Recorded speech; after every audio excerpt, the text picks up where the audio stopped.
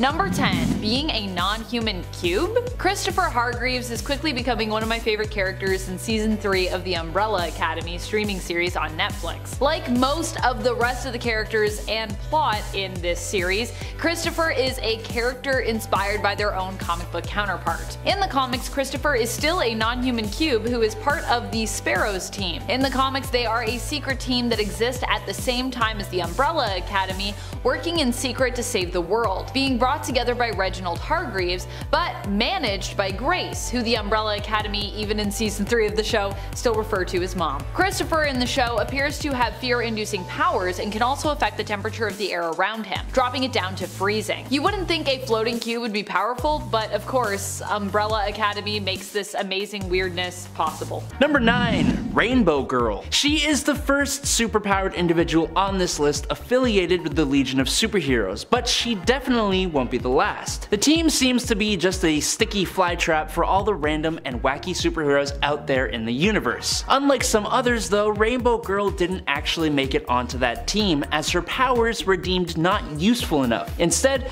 she made it onto the Legion of Substitute Heroes, which I'm assuming is the Legion that villains either don't listen to, or the Legion that just puts on a movie for villains to watch instead of just teaching them. I mean, biting them. Anyways, why is Rainbow Girl useless? Well, she can harness the emotional spectrum. Red for rage, orange for green, yellow for fear, green for will, blue for hope, indigo for compassion, and violet for love. But unlike the lanterns, she has no ring to use the power through, and she cycles through the colors impulsively, meaning it leads to terrible mood swings. Number 8. Street existence? I don't even know what to call this power set. Really, it, it kinda just has to do with what Danny is, their unique, I guess, physiology. Danny is a street, often known as Danny the Street, and sometimes when Danny has been hurt, Danny the Brick. Danny is a street that appears to those who most need a refuge in the world, the outcasts of society if you will. Danny provides a safe haven for these people so that they can truly be themselves, living without prejudice or judgment.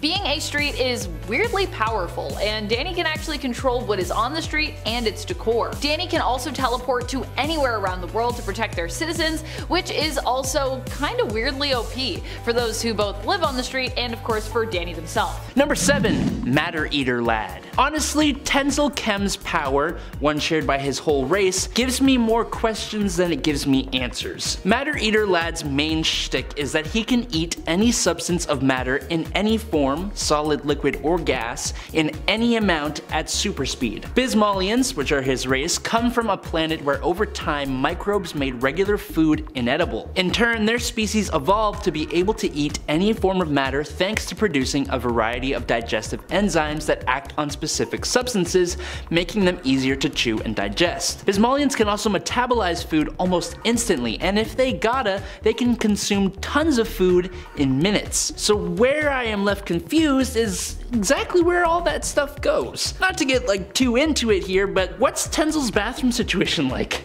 Also dental. I'm assuming their teeth are of a denser material than human teeth. One Bismollian who was part of the Yellow Lanterns ate people, which caused him to get his teeth removed as punishment, but he then had those replaced with Bismollian steel, allowing him to bite through almost anything. So my question is, could he not bite through anything before? Also, if Tenzil eats a whole asteroid, which he has done before, where does he poop? I just have so many questions and like no answers. I would just one, just one answer. Number 6. Polka Dot Suit. You wouldn't think a polka dot suit would be so powerful, and yet, whether we are talking Polka Dot Man's suit in the comics or in the DCEU film, James Gunn's The Suicide Squad, either way, he's pretty OP. In the comics, Polka Dot Man's suit is tech, where he can basically use the polka dots on his suit to turn them into any kind of weapon that he wants or a getaway device. All the dots kind of do different things. Pretty wild, but also pretty weird. The major flaw being that of course the suit can break down. While in the comics, Polka Dot Man is a villain, in the DCEU he's more an anti-hero, a forcibly reformed criminal who joins the Suicide Squad and ends up saving the world from Starro the Conqueror. Here, Polka Dot Man's polka dots are actually more intrinsic to him, kind of like really his own power, and they appear on his skin. When he purges them, they can be used as weapons to take down enemies, acting like destructive projectiles. But also, he does kinda need to purge them, so there is that. Here, his polka dot generation is explained as being the result of an interdimensional virus that basically Abner received after his awful mother experimented on him and his siblings. Also, I hope there's more Suicide Squad movies, and I hope we get to see more of his siblings and they're all like just the same actor but like different people that have weird powers. That'd be awesome. Number 5. The Hulk. Everyone knows Hulk's ability to turn into a big old green monster and rip things apart with a strength that increases based on his anger. But what many of you may not know is that Hulk actually possesses a much more subtle ability to see astral projections and ghosts and even interact with them if he chooses. Hulk's astral form perception has come in handy when working with Doctor Strange as a defender. But why does Hulk have this ability? Well, Bruce Banner subconsciously feared his father's ghost would come back to haunt him, like literally come back to haunt him. And so the Hulk just developed this mechanism to allow him to look out for that ghost, and I guess other ghosts as well. There isn't really more to it. Hulk just developed the ability that is something usually reserved for telepaths. For the super intelligent Bruce Banner, it would make a bit more sense, but it's been suggested that for Bruce, the clarity of the astral forms is diminished when compared to the telepathically resistant Hulk's ability to view them. With Immortal Hulk and the connection to the one below all, perhaps that could serve as some kind of fan explanation, but we don't have a real one, so uh. Number 4. Battle Precognition. Midnighter is another superhero who has unique powers that many simply don't really seem to think of, but when you do, you realize just how powerful he is. Midnighter basically has a chip in his head that allows him to parse out all the possible outcomes when in the midst of a fight. He basically run through hundreds of possibilities when it comes to his opponent's next move in a matter of seconds, meaning that he almost always knows which move to make himself to best counter whomever he's fighting. In essence, he has precognitive programming, which allows him to see into the future and kind of better plan what moves to make in the moment in order to win against, well, almost any opponent, really. Number 3. Superman. Back in the day, while Superman was a fairly new being, he would kind of have whatever superpower he wanted slash needed at the time, until eventually his set table of powers was established. But there is one new power that appeared in 1958, Superman number 125, where Superman learned to fire a tiny version of himself out of his hands. After discovering a tiny spaceship that blows up in his face, Superman loses all of his abilities minus, interestingly,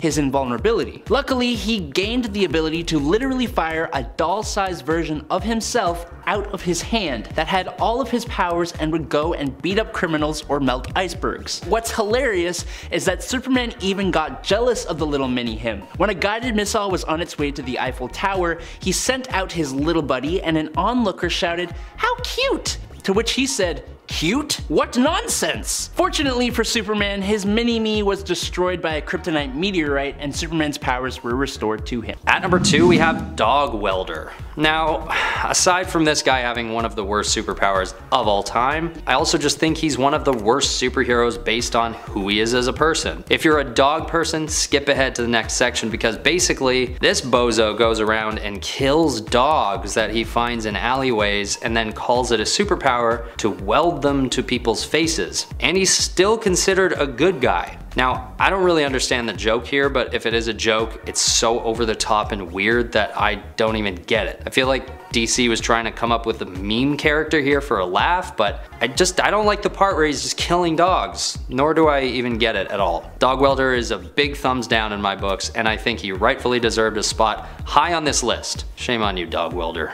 Number 1. Six Pack Six Pack is the leader of Section 8, the same team Dog Welder is on, both the first and the second Dog Welder. His powers, or abilities rather, involve him having a high tolerance for drinking, and it's been implied at one point that he may, and I'd like to emphasize the word may, have reality warping powers. But if he does, he doesn't really know how to use them. This was something that the many angled ones sensed in him when they faced off against him and he was apparently able to create a force field, but he didn't know how he'd done it.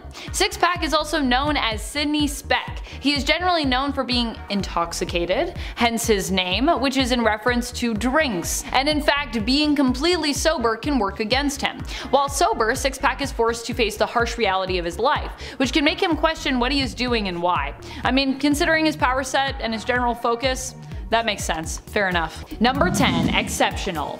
Bailey Hoskins is known for being the worst X-Men ever, probably because his powers are pretty lackluster sounding, but managed to pack a pretty big bang when they do get used. Bailey's powers involve self-detonation, but the only thing is that activating his powers will actually also result in his death, meaning he can only use them once and doing so will kill him. However, he does end up doing this and in doing so saves the world, or at least a world. His good friend and teammate Miranda has reality warping powers that are extremely powerful, propelling her into her own classification of mutant even, in terms of power level. But even then, this time around, it seems Miranda can't seem to interfere in this world at this time. It seems she needs some help from Bailey, and in sacrificing himself, he not only saves the world, but also seemingly helps Miranda to fix it and set it right again or potentially erase it. That's kind of what it looks like happens at the end. But maybe that's how you fix it. Just wipe it. Number 9. Funny Man. Funny Man is an odd superhero who is historically actually pretty significant, despite how weird he may seem. He's not just powerful for how much of a goofball he is, he is powerful in a historical context, which I think means he deserves this spot. Also, I'm not sure if we've ever mentioned him on the channel, as far as I can recall, I haven't at the very least. Funny Man was a creation of Jerry Siegel and Joe Shuster, after they both left DC and began what would become an epic and long-time legal dispute over the rights to Superman, not feeling they were being fairly paid their dues. And for those who don't know, Jerry Siegel and Joe Shuster are the ones that created Superman. Siegel especially was passionate about getting the rights to their character back. After leaving DC, they reconnected with former DC editor Vin Sullivan, who had started up his own comic book company, Magazine Enterprises. Jerry and Joe tried to create the magic of Superman again, but this time time by teaming up to make something entirely different and new, Funny Man. Celebrating their love of comic book pranks and humor, Funny Man was comedian Larry Davis, who after a publicity stunt gone wrong, ends up actually catching a real-life criminal, and decides to become a bona fide superhero, using his jokes and funny pranks to apprehend and stop criminals. A wacky idea that sadly did not end up panning out in the end for Jerry and Joe, as the character only lasted 6 issues. Funny Man didn't have any powers, but he was miraculously and comically good at stopping villains with his antics, and sometimes even doing this completely by accident. And friends, before we move on to the next spot, if you are loving this list and you want to show your love for our channel on perhaps another platform, you can head on over to Facebook, click that like, it really does help us out here at the channel, and thanks if you've already done it. Number 8. Dead Girl I think one of the weirdest things about Dead Girl is that her whole thing is immortality, as she's already dead and basically can't die, with her mutant powers activating only after her death. And yet she did die in the comics, possibly due to a disease which ultimately caused her to fall apart from decomposition. That is the one thing she's meant to be good at, not dying, and yet it happened.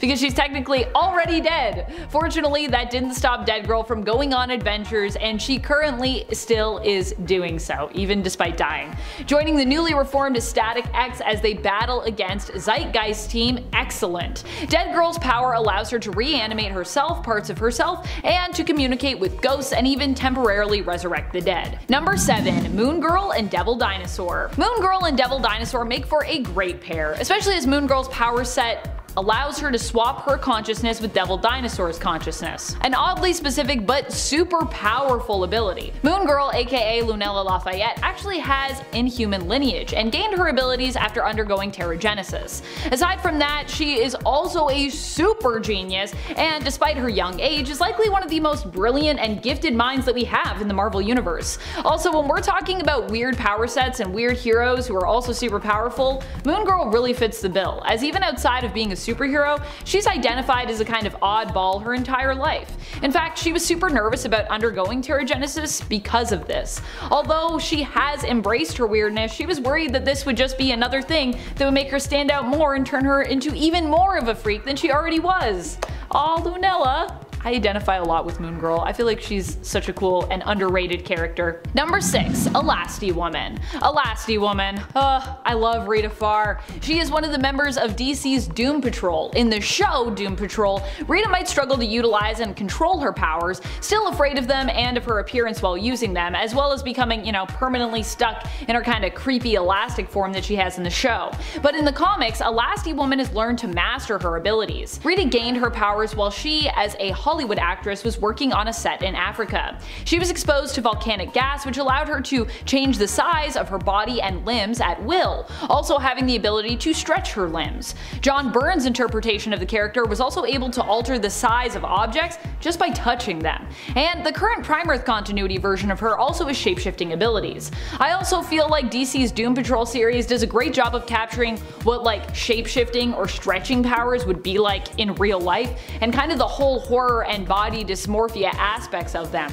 Possibly it's one of the best live action interpretations of this kind of power set I have ever seen. Also, if you aren't watching DC's Doom Patrol, what are you doing with your life? Go watch it. It's so good. Number 5. Multiple Man. Multiple Man has a strange and yet awesome power. He can create duplicates, often referred to as dupes for short, of himself, and use them to do and learn all sorts of things. Why learn? Well, because when he absorbs these duplicates back into himself, he also gains all their memories and knowledge, as long as he gets to absorb them back, that is. We've seen a lot of weird stories with Multiple Man because of this part of his unique power set, including one where he had a baby with his girlfriend Siren, but because he had actually sent a dupe to sleep with her on the night the child was conceived, when he first went to hold their newborn child because it was actually a product of a dupe, it got absorbed back into him. Lots of weird things about that well, that whole scenario. And then there was the time that he secretly sent a dupe posing as him, I mean technically they're all him, but you know, they're not the real him, to hang out with Layla and their son together, Davy, when Davy took his first steps. This dupe tragically died during an attack on Madrox's lab in X-Corp, so he wasn't able to actually absorb him back, and therefore lost those memories forever. Ooh, sad, weird, Kinda awful, Jamie. I love when people are always like, man, Jamie, why are you always sending dupes to hang out with me? And Jamie's response is just like, I mean, technically the dupes are me, so like, you're just hanging out with me. Number 4. Crazy Jane. Crazy Jane is a member of the Doom Patrol, and honestly, that is a great team to look at if you want to find some superheroes who are actually quite powerful but also just wonderfully weird. Jane is no exception to that rule. She's kind of like Marvel's Legion, who appeared only a few years before she made her debut over at DC Comics, first appearing in Doom Patrol issue 19 of the 1987 series, created by comic book writing legend Grant Morrison and masterful artist Richard Case. Crazy Jane is Kay Challis, who within her has at least 64 personalities, each with their own personas and their own power sets. While this means she has a lot of power at her fingertips, the challenging thing is that Jane often struggles to find balance with the various personalities residing within her, and has demonstrated various levels of control over them. And they over her. Number 3. Squirrel Girl. Squirrel Girl is also one of the most ridiculous heroes when it comes to her premise and her power set. Although really what makes Squirrel Girl aka Doreen Green so strong of a hero, so powerful of a hero, and of a character is her likability and her approach to heroism. She has a tendency to beat villains by befriending them and persuading them to stop their devilish and deadly plots. Although she has also summoned an army of squirrels in the past to help her take down even even some of the most famous and notorious villains, like early on in her career when she handily and embarrassingly defeated Doctor Doom. Squirrel Girl has also faced off and defeated the likes of Thanos and Galactus as well. I love Doreen Green. I want to be Doreen Green, she's so great. Number 2. Beak. Not all mutants get to be as badass as Iceman or Cable, case in point, Beak. Although Beak as a character is admittedly pretty cool and pretty brave, his mutant power is more a physical mutation, which means that he is evidently not considered a favorite for many X-Men fans out there. Like Skin, who was on part 1 of this list, Beak's powers, if you can call them that, leave him resembling a bird, and he's basically built like one, but initially in the comics he couldn't even really fly. Struggled a lot with that. Beak has since figured out kinda how to fly, or rather like glide somewhat, but even still he can really only go short distances and it takes takes a lot of work. And even going short distances, he doesn't really have a ton of like tactical flying skills to speak of either. Fortunately, Beak is still a really likable person and character, so he doesn't often need to rely on his mutant powers to be of use. Number 1. The Detachable Kid, or TDK. The Detachable Kid sounds like a pretty lame hero, and well, he is. He also isn't exactly a bona fide hero as he's a member of the Suicide Squad, but seeing as how this is a team primarily made up of, you know, reformed criminals and villains, well I mean villains at least who are forced into being good to get time lifted off their sentence, I think we can still count him. I think I'm gonna count him. So if you have a problem with it, You can, we'll talk in the comments. TDK is played by Nathan Fillion in James Gunn's The Suicide Squad and was created just for the movie and the DCEU, but the character does take inspiration from someone else on part 1 of this list, Arm Fall Off Boy, and his other post-Zero Hour comic book alternate, Splitter, who's also another version of that character. At least TDK has a somewhat cooler name, but unlike Arm Fall Off Boy, his prowess is a little less admirable. When it's time for him to fight, he detaches his arms and uses them to attack. Now the other cool thing I gotta say is TDK can actually control his arms like using his mind, which is kinda cool, but that plan is still pretty terrible and he's pretty quickly defeated by being shot a whole bunch, both in his detached arms, which he seems to, you know, still be able to feel, and directly in his body where he gets shot up a bunch, so he's instantly gone. Also, sorry, that's a spoiler, but also that movie's old now, so should have watched it. Number 10, Dazzler. I am really loath to put Dazzler on this list at all. Just feels bad. If you've been watching Top 10 Nerd for a while, then you likely know I am a big Alison Blair fan. I became one after I read through some of her original series and I fell in love with Alison and I also fell in love with her power set. I actually really like it. However, as I've said before, having some of the worst powers doesn't mean that you're a bad character. It doesn't even mean that your powers are really all that bad. After all, it's kinda just in how you use them.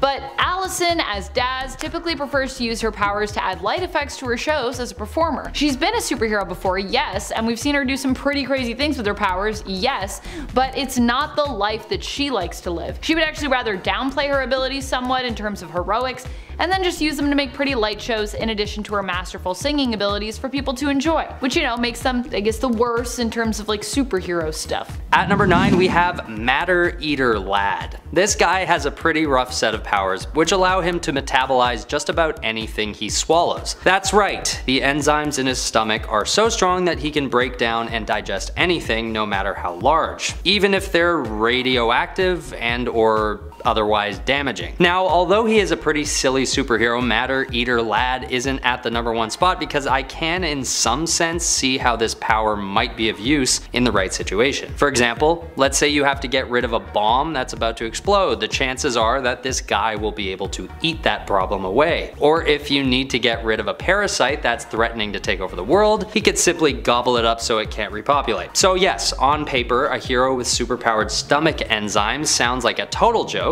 but I would only say he's mostly a joke. Number 8. Bouncing Boy. Bouncing Boy is a member of the Legion of Superheroes. While other names have been suggested for Charles Taine, Bouncing Boy is the one that is stuck. And when I explain his powers, you're gonna see why we went with Bouncing Boy here. Charles apparently gained his powers after drinking an experimental super plastic formula. I feel like that would kill you really. As a result, he became extremely, well, bouncy. He can inflate into a perfectly round ball and initially would use himself as a sort of like wrecking ball if you will, honing and mastering his ability to direct himself as he bounced around. Later on he would also become somewhat kind of like elastic in regards to his physiology, making him more bouncy. Initially he was someone who tried out for the Legion of Superheroes multiple times and was rejected due to his powers being even too ridiculous for the team to consider. But the Prime Earth slash Rebirth version of the character has successfully become a member of that team, so yay. At number 7 is Skin.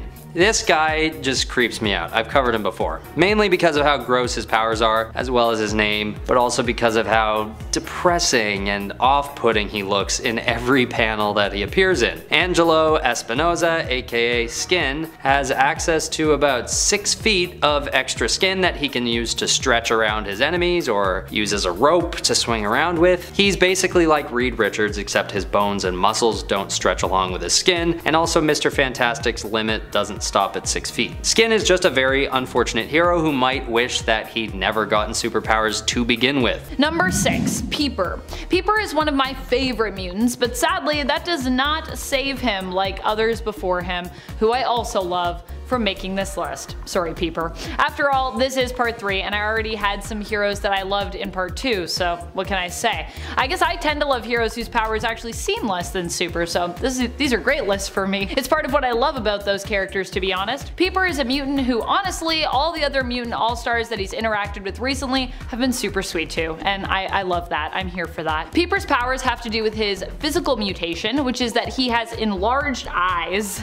with his eyes, he can see things that others can't, possessing different forms of sight. Currently, Peeper uses his powers to help out his fellow teammates as a member of Swords the Six, although he's not really like part of the main six because they're teleporters. He's not a teleporter, but he works with Sword and the Six to help expand the areas of mutant technology. At number 5 is Arm Fall Off Boy. This guy is pretty clearly a gag character, but he's technically part of the official DC universe, so he's fair game for the list. Arm Fall Off Boy, worse name, has the incredible ability to detach his limbs and use them as melee weapons. As gross and as weird as this power is, it seems like he at least believes in himself, which is something. In one panel, we see him proudly popping his left arm off with a big plorp sound, preparing onlookers to be, quote, astounded by his power. He obviously doesn't have a huge backstory, so it's hard to expound too much on him, but he definitely makes history for being one of the worst heroes, if nothing else. Number 4. Tag. Tag is definitely one of the weirdest superheroes out there when it comes to his abilities.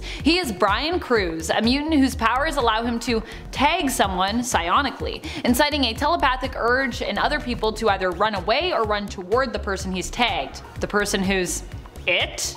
He could use his powers to take multiple people, but if making them emit a psionic signal that encouraged others to run away from them, the range would actually top out at about 100 meters away. Then the urge for people to run would stop. So it's really weirdly specific. At number 3 we have the people of New York City. Yes, even though it's hard to imagine calling them superheroes, at one point the people of NYC are endowed with a very subtle power given to them by Reed Richards. And the power is to be able to tell which direction is north at all times. This is a response to the Spider Island evil plan set by Jackal where he unleashes an army of little bugs that give people Spider-Man's powers. So to put everyone back on even keel, Richards decides that everyone should be turned into superheroes. The only thing is that to keep things simple, the ability given to the population of the city is so lame that it has gone down as one of the worst superpowers of all time, and has forced the innocent people of New York City to appear on this rather embarrassing list. Number 2. Dog Welder 2. Dog Welder was high up on our first part to this list, but did you know there isn't just one dog welder out there?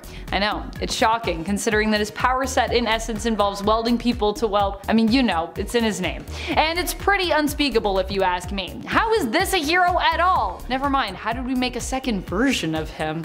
Dog Welder 2 ends up being possessed by the welding equipment of the former dog welder and even ends up at one point welding his family. Unable to resist the compulsion to weld, he must weld. It's a curse. Despite all this, he's still considered a hero somehow. He also ends up joining along with the superhero team known as Section 8. Dog Welder 2 is even more ridiculous than the first in that he learns the true origins of his powers actually come from the Egyptian god Anubis, and also saves the world by welding two stars together, one of which is Sirius, also known as the Dog Star. Get it? At number 1 is the silliest, worst superhero of all, with respect, J. Pennington Pennypacker, aka the Almighty Dollar. Living most of his life as an average citizen working as an accountant, Pennypacker eventually attends the Runnamunk Self-Esteem Camp, which turns out to be the most fateful decision he's ever made. After attending the camp for a time, we learn that it's all just a front for a mysterious scientist who's working on completing a device that could give anyone superpowers. And when J. Pennington Pennypacker is endowed with his own powers, he's given an ability that's perfectly suited for his ridiculous name. He is, from that moment onwards, endowed with the ability to shoot pennies out of his wrists at high velocities. Although he only appears in one issue of Marvel's NFL Super Pro back in 1992, the almighty dollar is technically an official part of the Marvel canon and must be treated as such. Coming in at number 10 is Isca the Unbeaten. This spot could as easily been taken by Domino as Isca also has a form of limited psychokinesis, which is probability manipulation, or also known as the power of luck, which is probably one of the most unexplainable powers because we can't even say that luck is for sure a real thing. But Isca takes it one step further into ridiculousness with the power of being literally unable to lose. Isca has the power to always win, no matter what, whether that is individual one-on-one -on -one contests, votes, or wagers, or larger battles where she is a member of a group. In contests of skill, her powers might give her the talent she needs to win, or she might just win through quote improbable circumstances. In larger battles or wars, her powers detect the probability of both sides winning and have literally led her to defect from the losing side and join the winning side, meaning she still personally wins. It's not that we don't understand it, it's that it can't even properly be explained without sounding utterly ridiculous. Love Isca the Unbeaten though, great character. Number 9. Seeing really really well. When it comes to Eye Boy, many of his powers are tied to him having multiple eyes. I believe in total he has 57 eyes that cover his body. A lot of people relegate Eyeboy to not being that powerful because, well, his mutation seems pretty ridiculous. But in reality, having multiple eyes is extremely powerful and actually has tons of benefits. Kind of like how Cypher was initially thought to have a pretty useless power set with his ability to communicate and understand all languages until we learned just how universally that actually could apply. The same could be said for Eyeboy. Trevor not only has multiple eyes but can use them to perceive things others can't. He is microscopic, night, infrared, telescopic, thermal, and even chemical vision. He can also read body language immensely well, allowing him to see into people's true feelings, emotions, and psychology. And aside from that, he can even see through falsehoods and illusions and see potential weaknesses in his opponents. Number 8. Legion. David Haller was living in Paris with his mother when her home was invaded by a assassination team. They took out David's stepfather before his eyes which kicked off his latent psionic powers, which he used to incinerate the brains out of the assassins. However, as he did so, he made telepathic contact with each of his victims, thus experiencing their thoughts and emotions as they died, which, as you can imagine, deeply affected David, forcing him into a catatonic state. The consciousness of the leader of the assassins, Jemail Karami, was absorbed and merged into David's mind. The terrible trauma that David had suffered had splintered David's personality into multiple alters, with each of these alters controlling a different psionic power. Because of this, Legion is an Omega level mutant able to create spontaneous mutations of different kinds that are accompanied by new personas or alter egos to govern each one of these new mutations. Now, David himself stated that he had in his mind 200 Omega level split personalities, but the X-Men Rogue stated that while she was in inside Legion, she was connected to thousands of types of powers and there were more, quote, being born all the time. How this works, I have absolutely no idea, but it does, and he is scary. Number 7. Light Transmutation Dazzler to me is such an underrated hero. Her powers allow her to transmute sound into light, which on paper sounds pretty lame until you realize just all the things she can actually use light to do, like make light lasers, just super cool. Although Dazzler, aka Alison Blair, prefers to use her powers to jazz up her concerts and musical performances with stunning light shows, although it's never really been explained if the sound is then muted thanks to her doing this or not. Uh, I'm assuming not, because people still seem to be able to hear her sing and her band play music. Dazzler also has been called on every now and then to play the role of hero. Daz proved herself to be so powerful throughout her own series, accomplishing things like facing the Hulk and not only surviving, but kinda beating him, and even being considered powerful enough to become a temporary Herald of Galactus. Number 6. The Flash. Wally West is easily the fastest of all the speedsters out there. He has an almost spiritual connection to the Speed Force that allows him to do a great number of things, from traveling time to creating electrical energy constructs. Thanks to a heart condition, Wally has even been able to freeze time which basically allows him to move at super speed without actually moving at super speed. And if you can explain exactly how that works to me, I will give you one single dollar.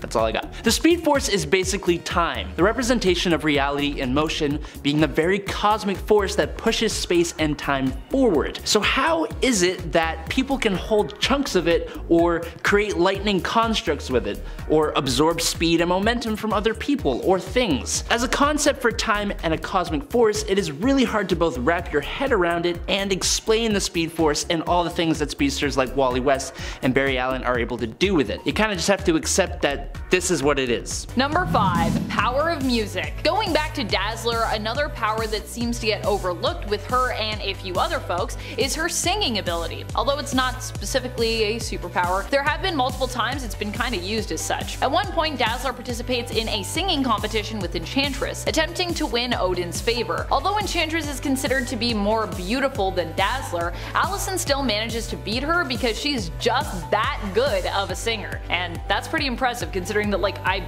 Odin is the judge of this singing contest, so Gotta impress Odin. And this is a competition where she's basically fighting for her life through song. There have been other such occasions in the comics where people have had to use the power of music to get themselves out of tough spots or to win favor. Music both in and outside of the comics is just a powerful thing. In the real world, even plants can be swayed by its influence and its power. The power of song. Number 4. Gin Genie. Gin Genie was a mutant, but unlike almost any other mutant ever, her powers were directly dependent on how much alcohol she consumed. Becca Parker had the power to generate seismic vibrations proportionate to her amount of alcoholic intake. As you can imagine, being intoxicated in order to use your superpowers can be rather Mm, interesting. It seems like one of those things you should add to the list of things you shouldn't do while under the influence. Like don't drive, don't operate heavy machinery, don't use your superpowers to cause seismic vibrations, that kind of thing. Unfortunately,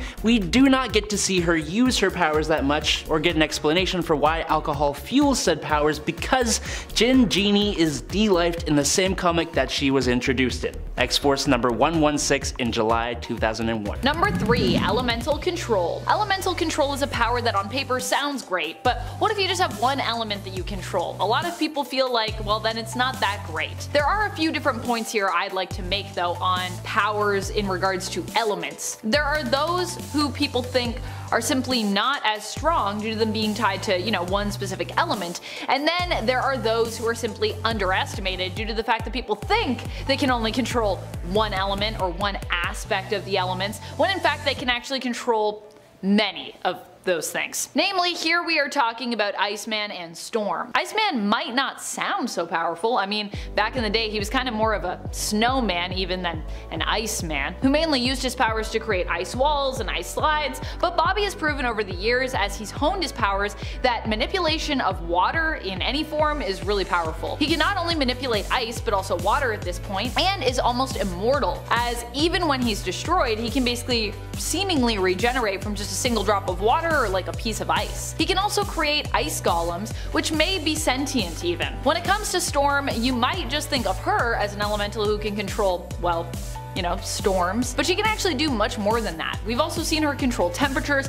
heating things up and cooling them off. In fact, Storm is really a master of all elements, so don't let her mutant name fool you. Storm is like an all-around powerful elemental, and not someone you want to mess with. And she's a great fighter, so Storm is really, just don't mess with Storm. Don't make Storm mad, it's, it wouldn't be good. Number 2. Kite Man. Kite Man. Hell yeah. Now riddle me this, nerds. What good are powers like reality warping, energy projection, telekinesis, and super strength against a guy who flies around on a giant kite? Yeah, I'd like to see the Justice League take on Charles Brown and his giant kite. There's no way anyone could possibly stand against that.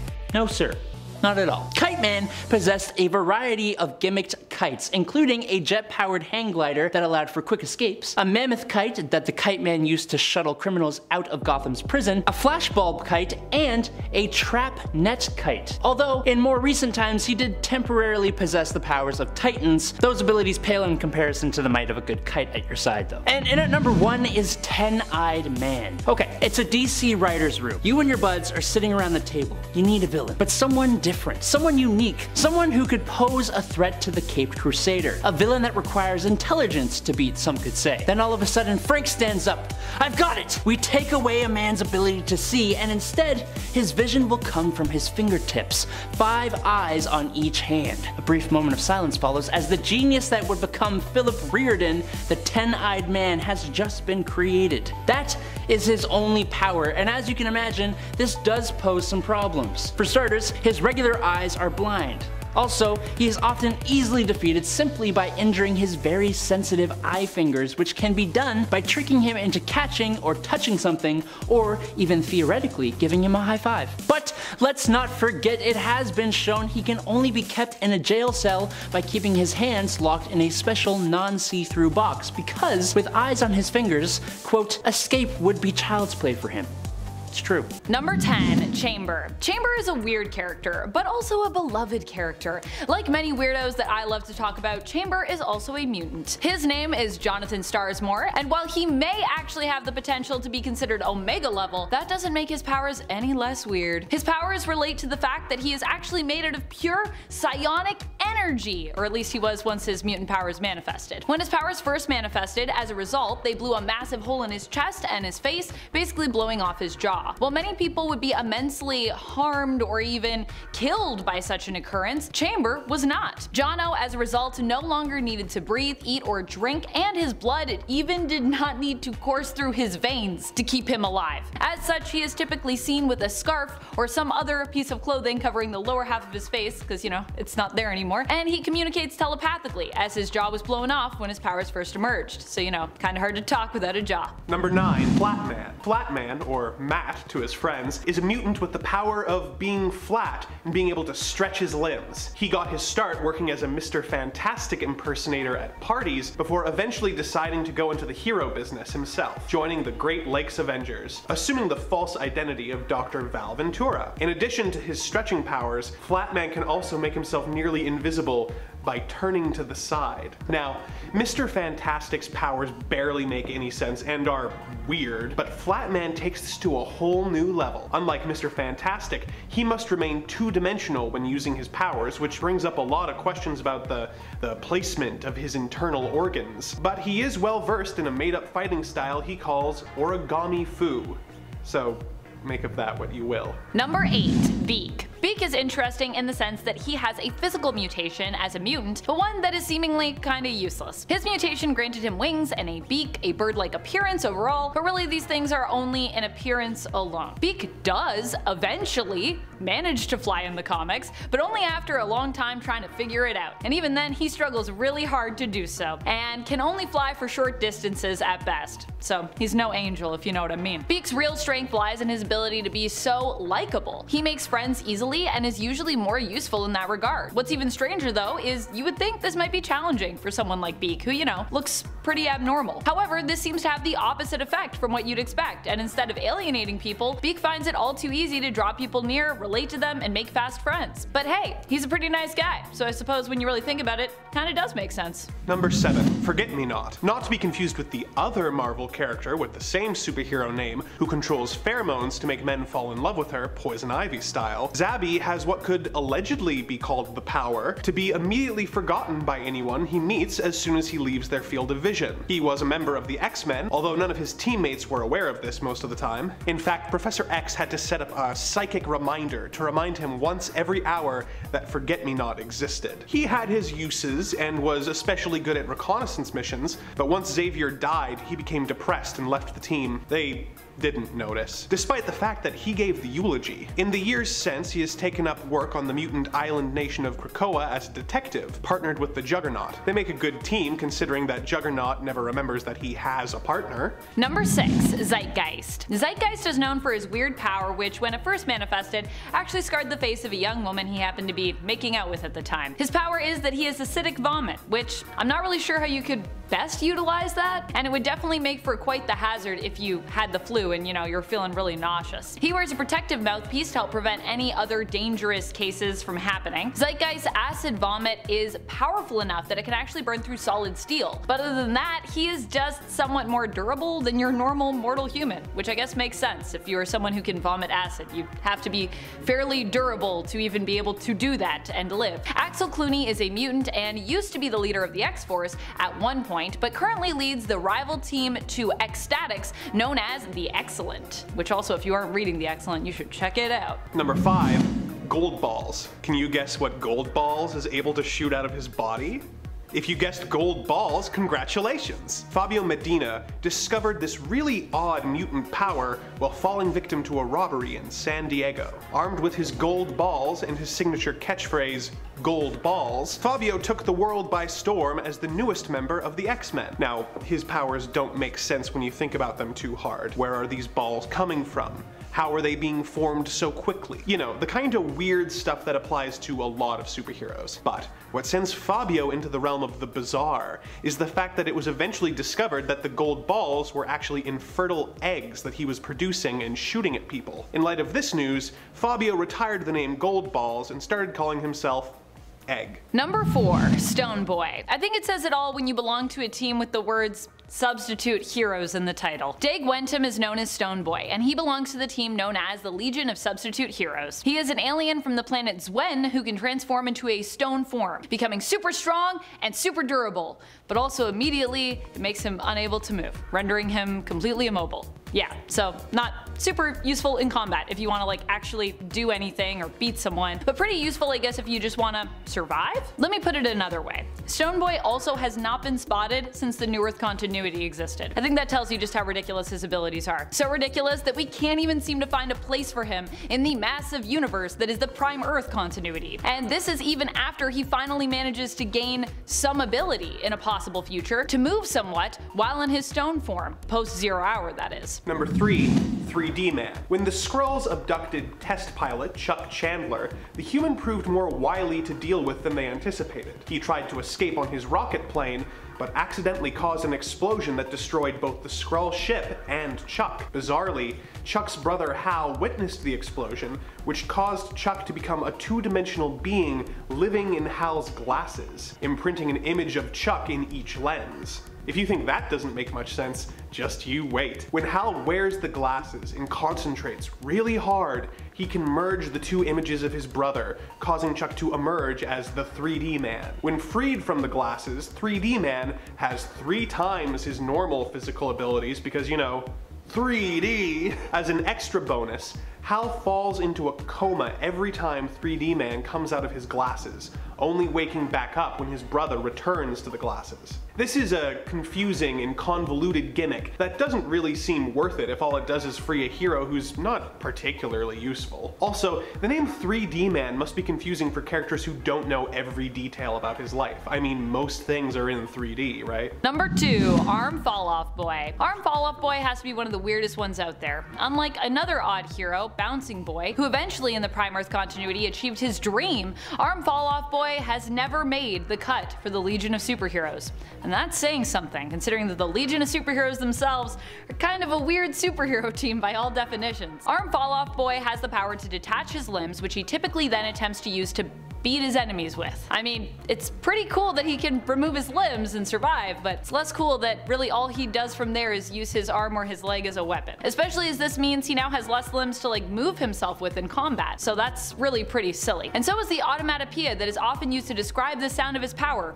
Plorp. What a great automatopoeia. Number 1. Fluff. First appearing in Xcellent number 3, Fluff probably takes the cake for having the most confusing, disgusting, and odd power I've seen in a long time. Fluff is able to generate bucket loads of belly button lint at will and vary its chemical composition. Now first off, Ew. Secondly, belly button lint is just stray clothing fibers that come off of your clothes and collect in your belly button. Trust me, I know. Fluff wears a costume with a very deep V, which allows his navel to feel those sweet summer breezes, which means that he wouldn't have any belly button lint, which begs the question, what exactly is he shooting out of his little tum-tum? You're free to speculate in the comments, but I refuse to give this character one more second of thought. Coming in at number 10 is Isca the Unbeaten. This spot could as easily been taken by Domino, as Isca also has a form of limited tychokinesis, which is probability manipulation, or also known known as the power of luck, which is probably one of the most unexplainable powers because we can't even say that luck is for sure a real thing. But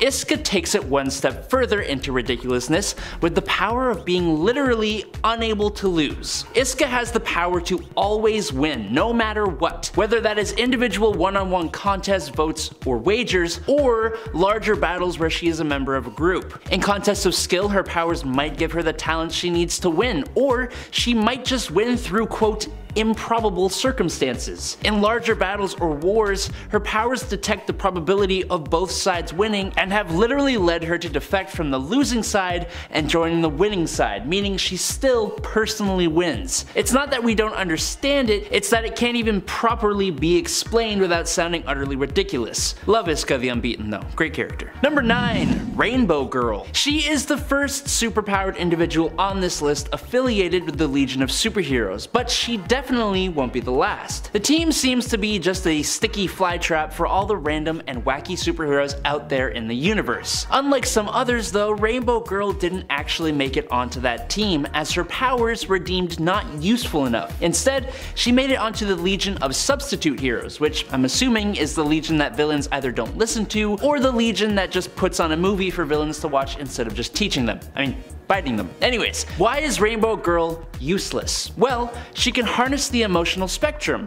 Red for rage, orange for green, yellow for fear, green for will, blue for hope, indigo for compassion, and violet for love. But unlike the lanterns, she has no ring to use the power through, and she cycles through the colors impulsively, meaning it leads to terrible mood swings. Number 8. Legion. David Haller was living in Paris with his mother when her home was invaded by a assassination team. They took out David's stepfather before his eyes which kicked off his latent psionic powers, which he used to incinerate the brains out of the assassins. However, as he did so, he made telepathic contact with each of his victims, thus experiencing their thoughts and emotions as they died, which, as you can imagine, deeply affected David, forcing him into a catatonic state. The consciousness of the leader of the assassins, Jemail Karami, was absorbed and merged into David's mind. The terrible trauma that David had suffered had splintered David's personality into multiple alters, with each of these alters controlling a different psionic power. Because of this, Legion is an Omega level mutant able to create spontaneous mutations of different kinds that are accompanied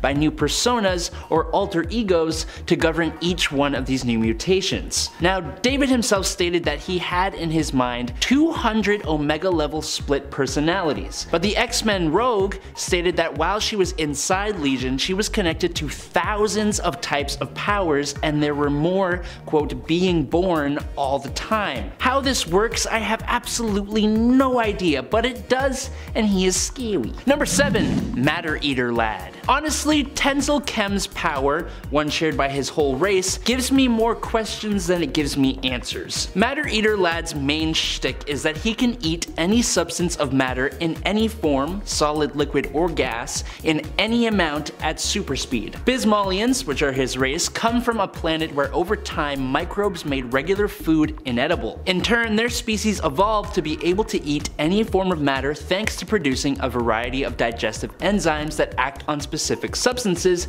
making them easier to chew and digest. Bismollians can also metabolize food almost instantly, and if they gotta, they can consume tons of food in minutes. So where I am left confused is exactly where all that stuff goes. Not to get like too into it here, but what's Tenzil's bathroom situation like?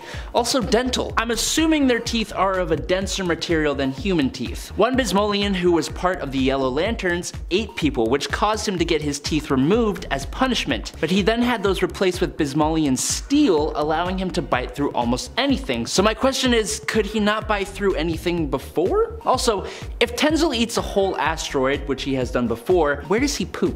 I just have so many questions and like no answers. I would just one, just one answer. Number six, the Flash. Wally West is easily the fastest of all the speedsters out there. He has an almost spiritual connection to the Speed Force that allows him to do a great number of things, from traveling time to creating electrical energy constructs. Thanks to a heart condition, Wally has even been able to freeze time, which basically allows him to move at super speed without actually moving at super speed. And if you can explain exactly how that works to me, I will give you one single dollar.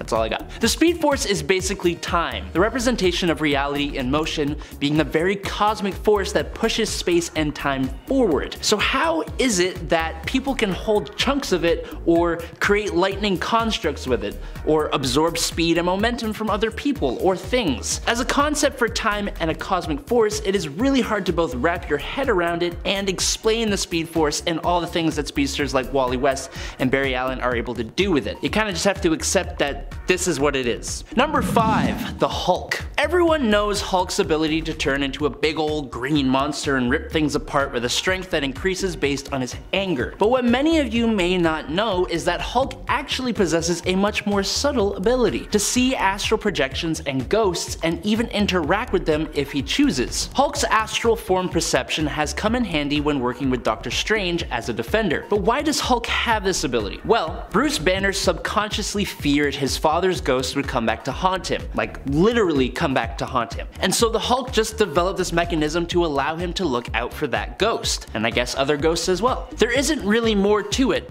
Hulk just developed the ability that is something usually reserved for telepaths. For the super intelligent Bruce Banner, it would make a bit more sense, but it's been suggested that for Bruce, the clarity of the astral forms is diminished when compared to the telepathically resistant Hulk's ability to view them. With Immortal Hulk and the connection to the one below all, perhaps that could serve as some kind of fan explanation, but we don't have a real one, so. Number 4. Gin Genie. Gin Genie was a mutant, but unlike almost any other mutant ever, her powers were directly dependent on how much alcohol she consumed. Becca Parker had the power to generate seismic vibrations proportionate to her amount of alcoholic intake. As you can imagine, being intoxicated in order to use your superpowers can be rather Mm, interesting. It seems like one of those things you should add to the list of things you shouldn't do while under the influence. Like don't drive, don't operate heavy machinery, don't use your superpowers to cause seismic vibrations, that kind of thing. Unfortunately, we do not get to see her use her powers that much or get an explanation for why alcohol fuels said powers because Gin Genie is de-lifed in the same comic that she was introduced in. X-Force number 116 in July 2001. Number 3. Superman. Back in the day, while Superman Was a fairly new being, he would kind of have whatever superpower he wanted slash needed at the time, until eventually his set table of powers was established. But there is one new power that appeared in 1958, Superman number 125, where Superman learned to fire a tiny version of himself out of his hands. After discovering a tiny spaceship that blows up in his face, Superman loses all of his abilities minus, interestingly, his invulnerability. Luckily, he gained the ability to literally fire a doll-sized version of himself out of his hand that had all of his powers and would go and beat up criminals or melt icebergs. What's hilarious is that Superman even got jealous of the little mini him. When a guided missile was on its way to the Eiffel Tower, he sent out his little buddy and an onlooker shouted, how cute! To which he said, Cute? What nonsense! Fortunately for Superman, his mini-me was destroyed by a kryptonite meteorite and Superman's powers were restored to him. Number 2. Color Kid. Ulu Vakk from the planet Lupra is the hero known as Color Kid, and his name does indeed suit his abilities. Vakk was struck by a multicolored beam of light from another dimension that granted him the incredible power to alter the color of objects and people, and that is literally all he can do. It's stated that this power is probably caused by him changing the spectrum of light around the person or thing, but there are no real explanations given. It also does absolutely nothing for him or anyone else. Color Kid decided to use this power to go and audition to be a member of the Legion of Superheroes and what do you know, he was rejected from the team and his powers were deemed useless. While it may be true, it feels a little bit mean, but at least he got in with the Legion of Substitute Heroes, so there's that. And in at number one is El Guapo. Robbie Rodriguez, who goes by El Guapo, is a mutant from the Marvel Universe. But that kind of opens up a whole bunch of questions because Robbie doesn't seem to have any powers of his own, unless you consider his symbiotic relationship with his flying skateboard a superpower. His wiki page refers to this as a idiosyncratic manipulation, suggesting that Robbie actually has total control over his skateboard. But the problem with that statement is that his skateboard also acted with a mind of its own, like when it beat him up for cheating on his girlfriend. Now, an argument could be made that perhaps it's his own subconsciousness beating himself up for doing the wrong thing, but that's just a me theory and Marvel did not state this to be true or even explain his ability at all really. It's not telekinesis, and the board seems to have a mind of its own. I don't know, you tell me what you think. Number 10, Lactuca the Knower. Lactuca is a strange new character who I kinda love. Their powers are very interesting and unique. Lactuca in essence knows the location of everything and anything. Considered as an Omega level mutant as so many are in Arakko who sit on the Great Ring, Lactuca resembles a night sky, looking like a sheet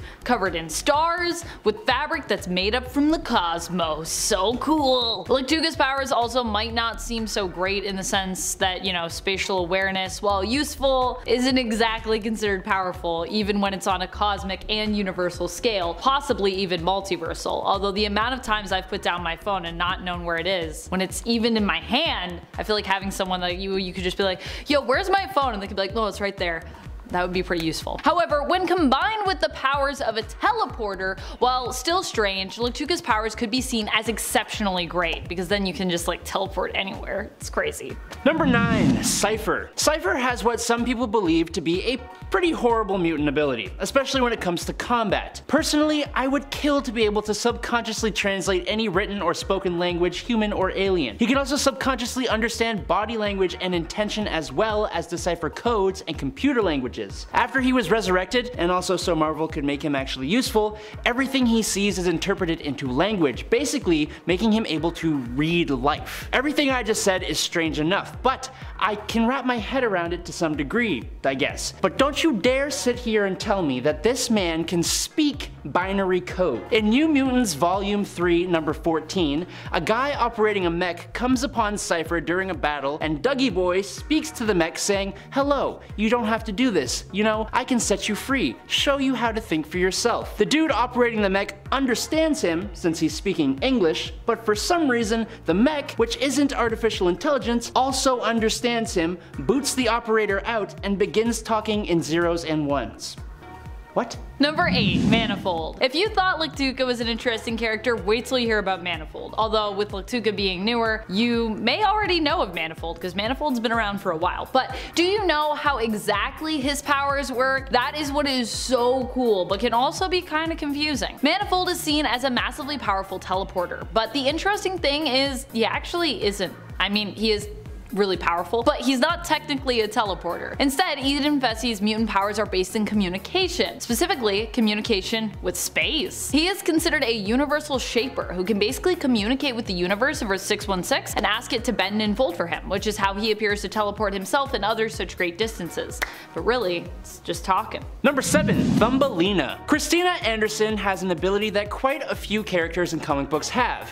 That would be the ability to shrink. Thumbelina can reduce herself down to about a quarter of an inch tall. That ability is perfectly fine in my eyes. Like I said, lots of characters can do this. My problem with Thumbelina, and also some other shrinkers, is how the heck do they retain their full size strength when they get smaller? Or in Thumbelina's case, how the hell does she get stronger when she shrinks? I'm sorry to try and bring physics into any debate about superheroes and their various powers, but it makes absolutely no sense in the laws of physics that someone who is smaller can be more strong than they were when they were regular size. Ants for example, if they were the size of a person, they would be insanely strong as they are able to carry 20 times their body weight. So that's like an average person being able to carry like a small SUV or something. But since ants are so damn small, that means they can carry like a leaf or something. Thumbelina should not be able to knock someone out when she is a quarter of an inch tall. I'm sorry, that's all I gotta say. Number 6. Isca the Unbeaten. Isca's powers are really cool, don't get me wrong. But how does it work exactly? I feel like we still have a lot of exploring to do with this character before we can really firmly answer that question. I've been reading Isca since she came into the comics and I'm still confused. Isca made her first appearance during the 2020 X-Men series appearing in a tie-in issue to the X-Men crossover event Ten of Swords, which I still personally hold a great fondness for. As such, I also hold a fondness for this character, the sister-in-law to Apocalypse through his mutant wife Genesis. Isca is a mutant of the long-lost mutant island of Arakko, and her powers allow her to always win, but sometimes they also force her to always win, like against her will will, and then other times, betting against her even can affect the result of a contest, even if she herself isn't involved in that. How does that work? Her powers also do not just extend to physical fights, but all means of competition. So like, if you're, I don't know, doing a coin toss with Isca, she gotta win. Number 5. Tag. Okay, I actually kinda wish I had Brian Cruz's power. It just seems like the perfect chaos creating ability. Tag's ability, known as the pariah effect, allows him to use a form of telepathy when he touches someone that causes the target to emit a psionic signal which would make them a target for others to run away from or to run towards. Whichever way people would run, they would do it while being fully aware of what they're doing but unable to control themselves. If they were being controlled to run away, they would continue to do so until they were about 100 feet away. But if the signal caused them to run towards whoever it is, then they would dogpile on top of the target. What's strange is that he could also control who was affected by the ability, like how? He only made one person it, so how does he decide who runs away and who doesn't? He could also make whoever was it run away from themselves. So in other words, they would just run uncontrollably and in random directions, which is actually kind of hilarious. He also would always say, you're it, which is kind of misleading because that person can't tag someone else to make them it, which is kind of unfair as well, so. Number 4, Dupe. Ranking a little lower for me because he's not necessarily a mutant maybe, is Dupe. Dupe is a creature who often is lumped in with the mutants, but maybe isn't one? We don't really know what Dupe is, never mind his power set. Dupe is basically an unstoppable force and has been implied to be a mutant, an alien, a mutant alien, or something else entirely. As of right now, his origin is classified on his own wiki with him being an artificial being, which really doesn't help to clarify anything. If he is a mutant, and I'm not saying conclusively that he is or that he isn't, as I still feel like his origin in general can be really contested at this point, his powers really are hard to classify. It's kind of like he's an old school superhero in the sense that he seems to have powers for whatever task he needs to accomplish at the time, including resurrection, the power of funk, love eyes, breaking the fourth wall, moving between panels, and even magic. Dupe has been spotted seemingly fighting alongside the mutants as recently as the AXE Judgment Day event, implying that he is at least allied with Krakoa. For those of you that don't think he's a mutant, I still kind of think he might be. Who knows? Number 3. Hijack. The mutant known as David Bond has the oddly specific ability to control vehicular mechanisms with his thoughts. Basically, this is a form of technopathy, and he has been able to control automobiles and shield helicarriers, starting their engines, steering them, and even opening their doors. He has also been shown to be able to control high-tech suits of armor. Now, uh, this kind of leads me to have more questions than anything else. Like, can he control motorcycles? What about bicycles? Rollerblades? Does the vehicle need to have an internal computer? What's the deal with opening and closing car doors? Does that not count as a form of telepathy? Why can he control high-tech suits of armor? What if a car has mechanical issues? Can he tell? Does the vehicle need to be in complete functioning order? Does it need to be able to turn on? I have so many questions and like no answers. Number 2. I Scream. I Scream. Oh boy, what a wonderful weirdo this is. You know how much I have a strange affinity for mutants who have eye-based mutations and visual power sets if you're you know, usually on this channel, and if you are usually on this channel, you should subscribe if you aren't already. But despite the I in I Scream's name, he is not one of those. Instead, his mutant power seems to be that he can turn himself into ice cream. Get it? I scream. Ice cream. He's only appeared once, I believe, in the comics, making a singular appearance in a strange comic in and of itself from Marvel, Obnoxio the Clown, issue number one. In this weird single issue, Obnoxio is a clown and he's employed to act as entertainment for a surprise birthday party at the X Mansion that is being hosted for young X-member Kitty Pryde. While this is going on, I Scream, a villain, also appears and sneaks into the mansion, hoping to coordinate a stealthy attack on the X-Men. Instead, he ends up attempting to get Obnoxio out of the way, which he kinda succeeds in, only to later be captured in a block of ice because he can turn into ice cream. What I want to know is what was I Scream's plan of attack with his power set? Is anyone on the main team featured here lactose intolerant? Was that his plan? I have to know. Number 1. El Guapo. Tell me that someone, thanks to genetic mutation, can fold space or speak binary code or always win, and I'll look at you sideways, but I'll nod and walk away. But you tell me that some guy named Robbie Rodriguez, thanks to a genetic mutation, has no actual powers of his own, but instead has a symbiotic relationship with a superpowered flying skateboard, which followed his mental commands and sometimes even seemed to have a personality of its own or, or acted on his subconscious thoughts. I'm sorry, I'm out. I'm done. Where did the skateboard come from? How did he discover this ability? When did this mutant power activate? Can he do this to other skateboards or inanimate objects in general? You can't just give someone the most unique and insane mutant ability and explain none of it. Number 10. Zeitgeist. Okay, he didn't actually initially start as a villain. Instead, Axel Cluney was actually the leader of the celebrity superhero mutant group known as X-Force. But after his death and revival, he did indeed become a criminal and villain. Now, Zeitgeist has a pretty unfortunate mutant superpower that first manifested in a very unfortunate incident. Basically, Zeitgeist could spew acidic vomit from his mouth, and he wore a protective mouthpiece in and out of his costume. He discovered this power during a little makeout sesh at a beach where he accidentally vomited and melted the girl's face half off. She did survive, but the real kicker is he can't even remember her name. See, he's not really a good guy at all. It was shown that his vomit could burn through 10 centimeter thick steel in less than 30 seconds. Again, not a horrible power, just really, really unfortunate. Number 9. Armless Tiger Man. Gustav Hertz worked in a mechanical laboratory in Munich, Germany during the 1940s. Now one day, his arms were caught in a machine and were amputated. Surviving the experience and given reading material on how to operate day to day using his mouth and feet, Hertz developed skill in using his teeth and his feet in place of his amputated arms. He has sharpened his teeth into fangs to use as weapons and has above average strength allowing him to bend steel steel with his mouth. His toes are also very dexterous, allowing him to throw daggers with them, which is actually kind of cool in a little bit of a weird way. He was an enemy of the World War II hero Angel, which is not Warren Worthington. He was also an enemy of Wakanda, and after death, he even came into sort of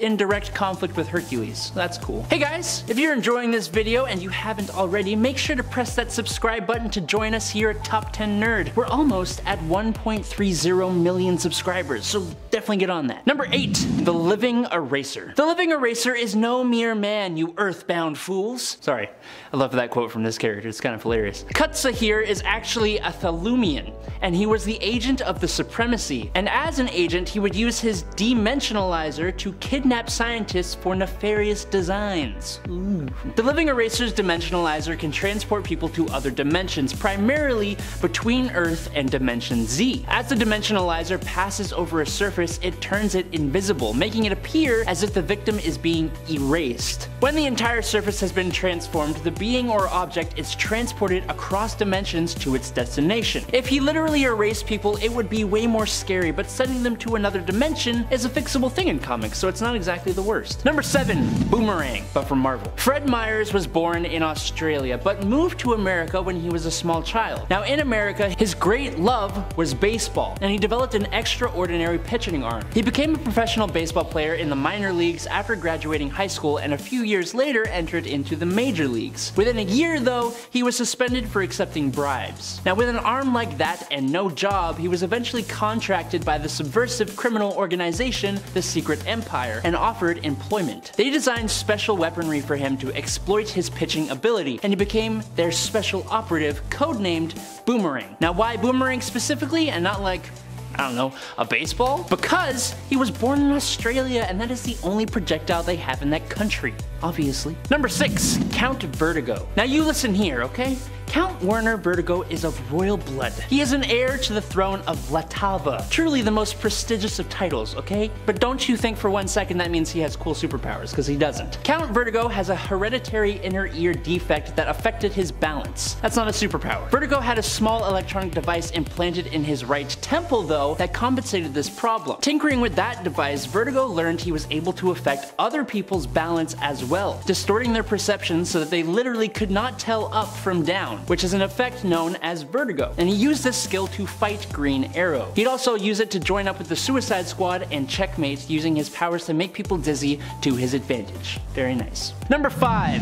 Codpiece. Personally, I would have loved to be a fly on the wall when the character of Codpiece was conceived. Codpiece is honestly just a guy with a massive inferiority complex. That's what it says on his wiki though. Uh, I'm not, like, I didn't make that up okay? Look, in high school, a girl told him he wasn't tall enough, but he thought she meant something else, and so instead of getting like a broken muffler or giant wheels on a giant truck, Codpiece created a suit that had a Codpiece multi-weapon built into the crotch area. The Codpiece had a wide variety of functions, including a cannon, missiles, a sonic attack, two retractable boxing gloves, and a variety of tools such as drills and scissors. If there is one way to compensate, it is by becoming a multi-tool. Look, He's doing the best with what he's got, okay? Number 4. Polka Dot Man. While this character got a bit of a change up in the recent Suicide Squad movie, Polka Dot Man, real name Abner Krill, in the comics didn't have a power. He instead wore a suit that was covered in different colored polka dots. When these polka dots were attached to the suit, they had no function, but once they were pulled off, they would enlarge and turn into different gimmicky weapons like flying buzz saws, blinding sun-shaped dots,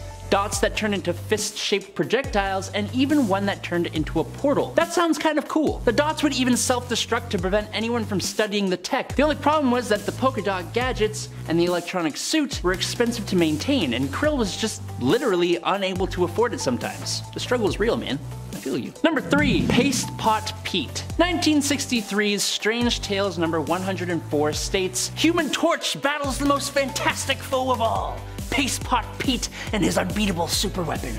Now said unbeatable super weapon just happened to be a glue gun that fired an extremely adhesive multi-polymer liquid that he invented. Paste Pot Pete, otherwise known as Peter Petruski or even Trapster, created a not hot glue gun and his idea was to use this to commit crimes. As you can imagine, the Human Torch really had no problems whatsoever taking down old Pete here, and he continued to do so multiple times because Pete does not know when to give up apparently. Number 2. Super speed. Super speed is one of my favorite all-time superpowers around. I think it is super powerful, crazy powerful really. And honestly, although I know we have famous heroes like the Flash running around, I don't think super speed gets enough hype or love or appreciation, which is why I wanted to put it on this list. I mean, the Flash has managed to save and endanger the world using his Speed Force powers on more than one occasion, showing you just how epic these abilities can be when slash if you get creative enough. Well I guess if the writers and artists are creative enough rather.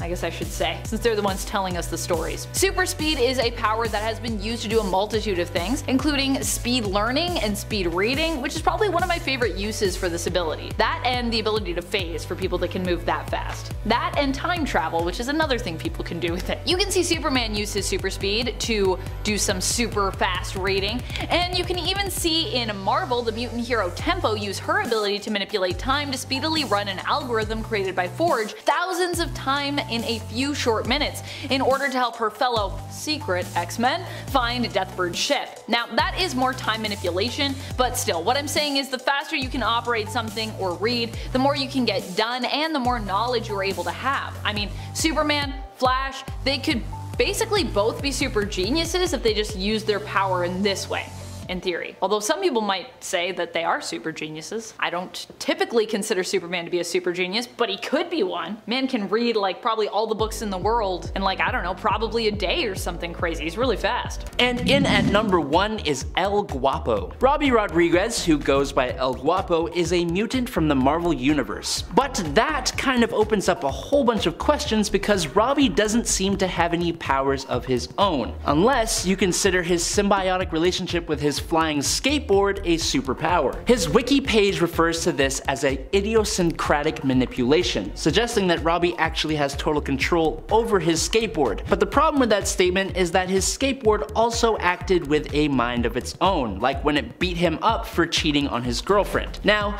an argument could be made that perhaps it's his own subconsciousness beating himself up for doing the wrong thing, but that's just a me theory, and Marvel did not state this to be true or even explain his ability at all really. It's not telekinesis, and the board seems to have a mind of its own. I don't know, you tell me what you think. Number 10, Starbrand. Starbrand isn't so much a singular person as it is a power in and of itself. Right now, the current Starbrand in the 616 universe is Brandy Selby, daughter of Suzanne Selby, who became the Starbrand after the one before her, Kevin Connor, passed away. The Avengers stepped in and had to help Suzanne deliver little Brandy, an act that caused Suzanne to pass away and attach the Starbrand to Brandy. Since Brandy's birth, she's used the Starbrand to fly and survive without oxygen and in the vacuum of space, and she can use extremely powerful energy blasts that can take down multiple people at once. But the Starbrand itself is an incredible source of power, proven by other people who have wielded it. The bearer of Earth 723's Starbrand used the power to create music that can influence human behavior to the extent that he has unified the people of his world as a single hive mind.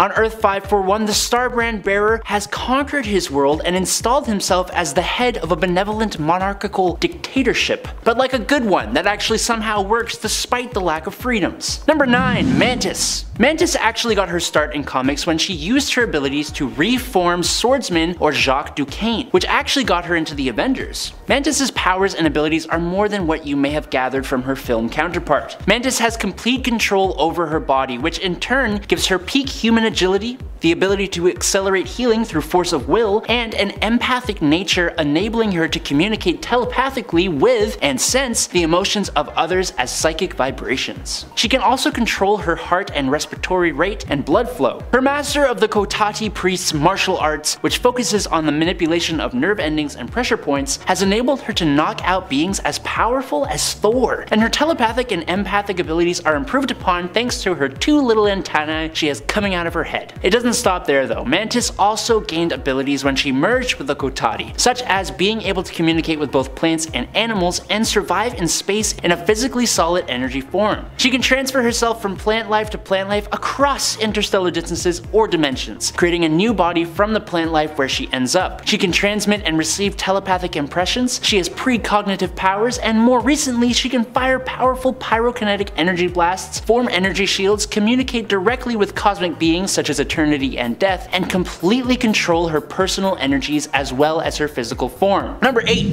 Tigra. When Greer Nelson first came on the scene, she was just known as the Cat, and was given powers tied to her costume. But that all changed when she became Tigra, mutating into a human-tiger hybrid in a ritual that bound her to the Cat People, which is a very silly name, but was a race of humanoid cats who were created in the Middle Ages. Now before you laugh at her for looking kinda silly, just know that in her tiger form, Tigra is granted some awesome abilities. Her superhuman strength allows her to lift over 10 tons, with her leg muscles allowing her to perform a standing jump of 12 feet. She can run at speeds of around 70 miles per hour, has superhuman durability, agility, reflexes, and stamina, and as we all know, cats have heightened senses and like to knock things off of where you carefully place them. And as far as I know, the former is the same with Tigra, whose senses are about 10 times that of a human. Tigra's eyesight can sense the infrared portion of the electromagnetic spectrum, allowing for night vision. She can more easily detect the movements of an opponent. Her hearing is so strong that she can detect a ball of tissue paper being dropped at a distance of 40 feet, and her sense of smell lets her track people. More than that, she can even detect subtle alterations in the composition of perspiration that reflects mood or emotions and is highly sensitive to pheromones. Her claws and fangs can cut through steel and like Mantis, she is an empath able to enhance and control emotions to a degree. Number 7. Monica Rambeau With the title of Captain Marvel, it's easy to not fully understand the powers of Monica Rambeau, but they are different to her other Captain Marvel counterparts and in my opinion she is my favorite of the characters to take on the title. After being bombarded with extra dimensional energy emitted by a stolen device, Monica Rambeau acquired the ability to convert her body mass into and control any form of energy of the electromagnetic spectrum. Those energy forms include visible light, radio waves, electricity, X-rays, microwaves, infrared radiation, ultraviolet radiation, cosmic rays, and gamma radiation. But whenever she comes into contact with new forms of energy, such as neutrinos, Monica can mimic that energy's wavelength as well, given enough time, and she'll be able to actually transform into it. As you can imagine, there is a lot she can do with these various forms of energy. Flight, speed of light travel, intangibility, invisibility, energy blast and absorption, hologram creation and appearance alteration, size alteration, power boosting, and she can even become a kind of hard solid light. Number 6. Shang-Chi Shang-Chi is one of, if not the greatest martial artist on earth. He was trained from birth to become the ultimate warrior. He can take on multiple opponents at once and can even defeat people much more superhumanly powerful than him. He is particularly skilled in Chinese martial arts, but his skill branches out to many, many more.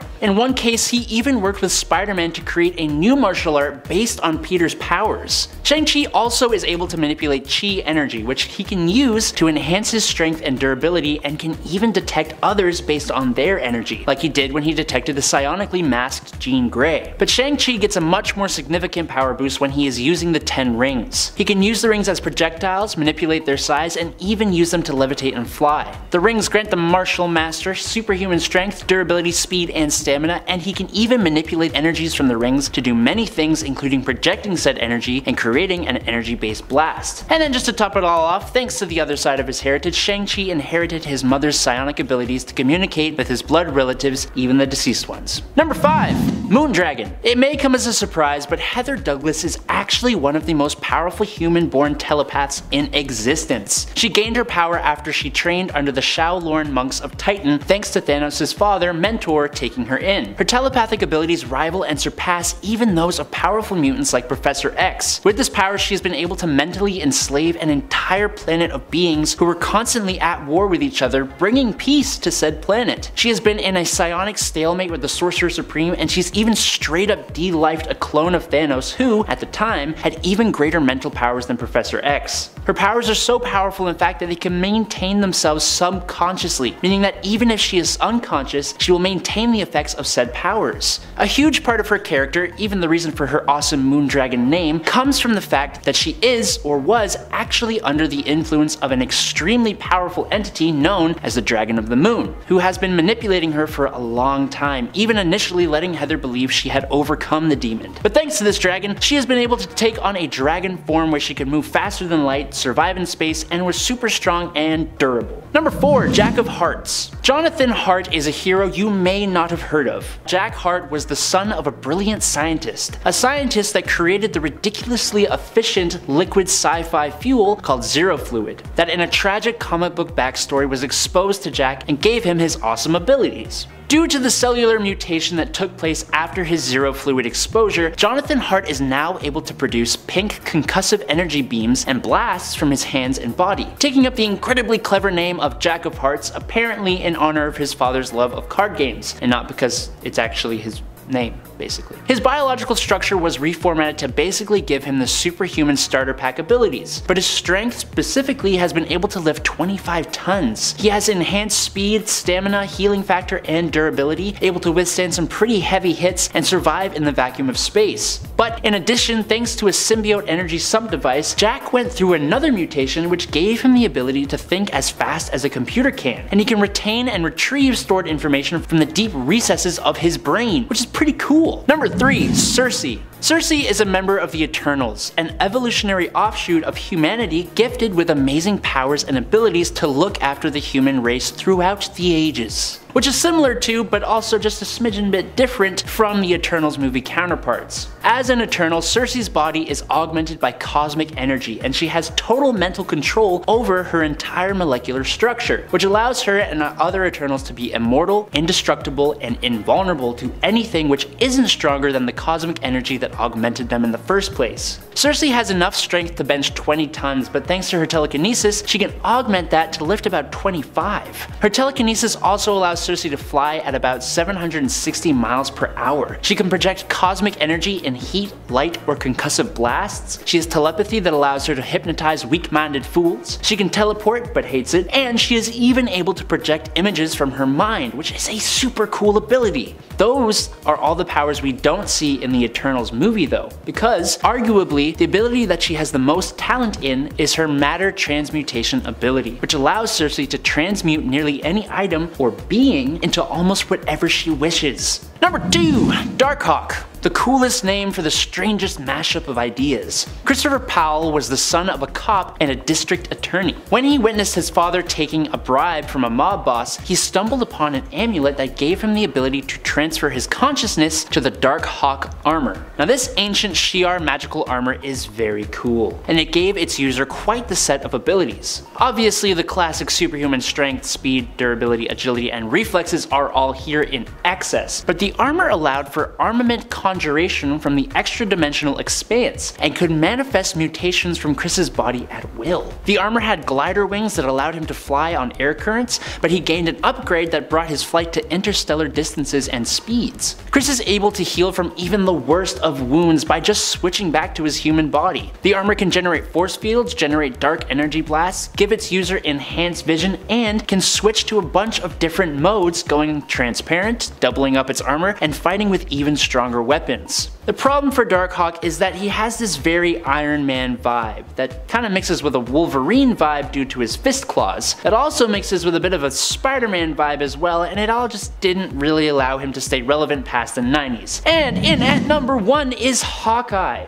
Okay, look, hear me out. Yes, Clint Barton is essentially just a regular human man, but despite that, and likely because of his abilities and talents, he is considered a power level 4 according to Nick Fury's intel. Those aforementioned abilities include being a master of archery in the use of regular bows, longbows, compound bows, and crossbows, with basically perfect accuracy, able to fire multiple arrows at a single target in a few seconds. But he now also has near perfect precision with any aimed or thrown weapon. He is at the peak level of human eyesight possible, I don't know how you train that, but there you go. He is in peak athletic human condition with peak strength, endurance, and reflexes. He is an expert acrobat, tactician, and master martial artist, but listing off his abilities isn't really going to give you a proper understanding. So what has he done? In Avengers Volume 3 number 14, Hawkeye was cornered by 17 marksmen and took them all down without taking a single life. In Hawkeye Volume 4 Number 1, Clint ran into a wanted criminal in a bar and took him down silently, fracturing his neck with a deck of cards. Number 10, No Girl. No Girl is a creation of Grant Morrison's. Grant Morrison, when they were writing X-Men, decided to create a bunch of New Mutants and all of them were about as weird as you'd imagine someone like Morrison would make them. No Girl, of course, is, well, no exception. Her powers are actually pretty cool, but the fact that she didn't really have a body to speak of for a good amount of the time we've known her in the comics was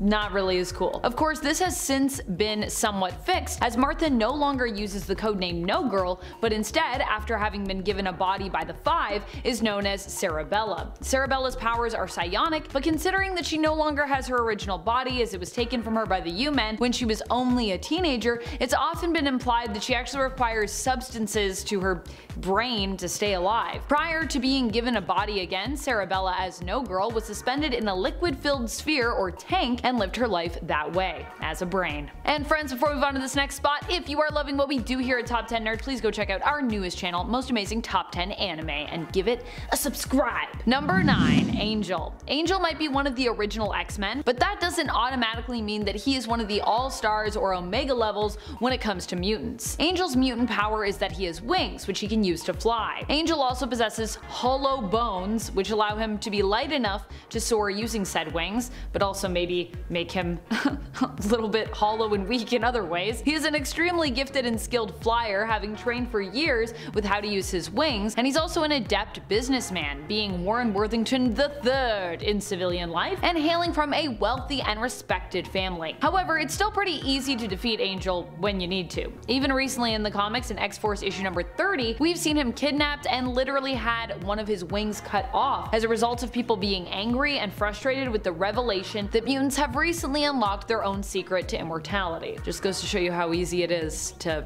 mess with Angel. It's kind of sadly too easy. Number 8. Broo. I honestly love Broo and now his powers are basically the coolest around, but for a while there, he wasn't really the coolest per se. You see, Broo may be a mutant, but he's also part of the Brood, so his mutant superpower was actually nothing quite so exciting as some of the other more well-known mutants out there. Broo's mutant power and mutation actually make him compassionate, which for a member of the Brood is a super power really, as Brood don't really feel compassion, empathy, or sympathy at all, like humans do. But for an X-Men, well, it's kinda less impressive. It should be noted though that even though it doesn't sound impressive, for a Brood, compassion is pretty amazing to have as an ability. And currently, Broo is also king of the Brood, so there's also that, which makes him pretty cool now, but wasn't always. Number 7. Star Fox. Star Fox's powers aren't bad in the way of them being, I would say, non-useful. They're more bad in the sense that they're considered to be, um, kinda shady. Star Fox is also known as Eros, originally named Aaron at birth by his parents. He had his name changed to Eros when he was still young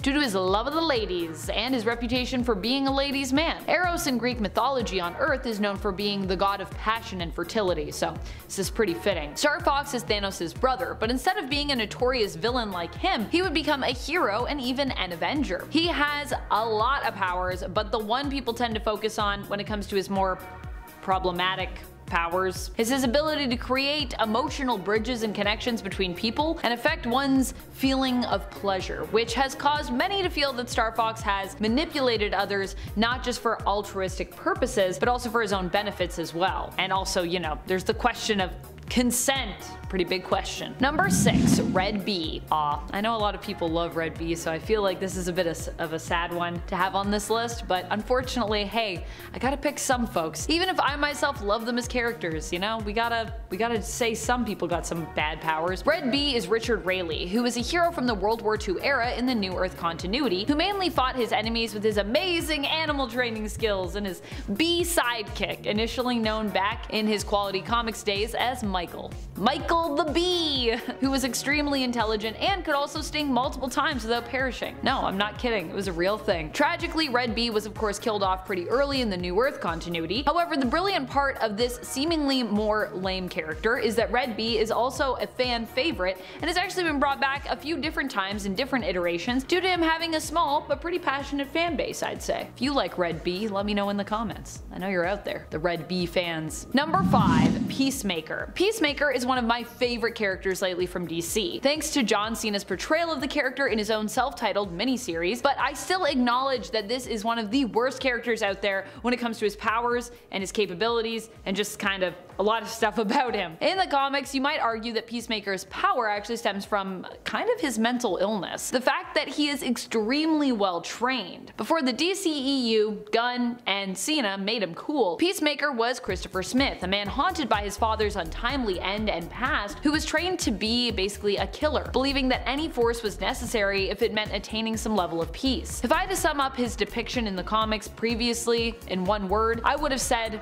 unhinged. I still think we'll get some of that explored more as the show progresses. We already kinda got some of it in season 1, but I do think it'll be approached from a more real and grounded place as opposed to just making Chris feel like the violent and often misguided lunatic that he seemed to be back in the New Earth continuity. Number 4. Doorman. It's time to get into some of the weirdness that is the Great Lakes Avengers. Being that this isn't the mainstay Avengers team, and I don't even think they're technically affiliated with the Avengers, like I don't think the Avengers want to be affiliated with the the Great Lakes Avengers. They are about as strange and in some cases unimpressive as you could possibly expect. Doorman is one of the members of the Great Lakes Avengers. As lackluster as his name is, his power can sometimes be very useful, but the issue with it is, is that it's quite specific, so finding the right and best way to utilize it can be challenging. Although to his credit, I'd like to say that Doorman actually does a pretty good job with how and when he uses his powers to make himself seem pretty useful. Doorman's power allows him to create in essence a doorway or a door between adjacent areas that are separated separated, you know, like by a wall. So he's kind of like a, a moving portal, which can be useful in some cases and, you know, much less useful in other cases depending on the scenario. Number three, Big Bertha. Big Bertha, oh boy. So Big Bertha can basically transform her body, adding mass, weight, and height as needed, and even controlling where the added mass goes specifically in regards to her figure and the added weight's distribution,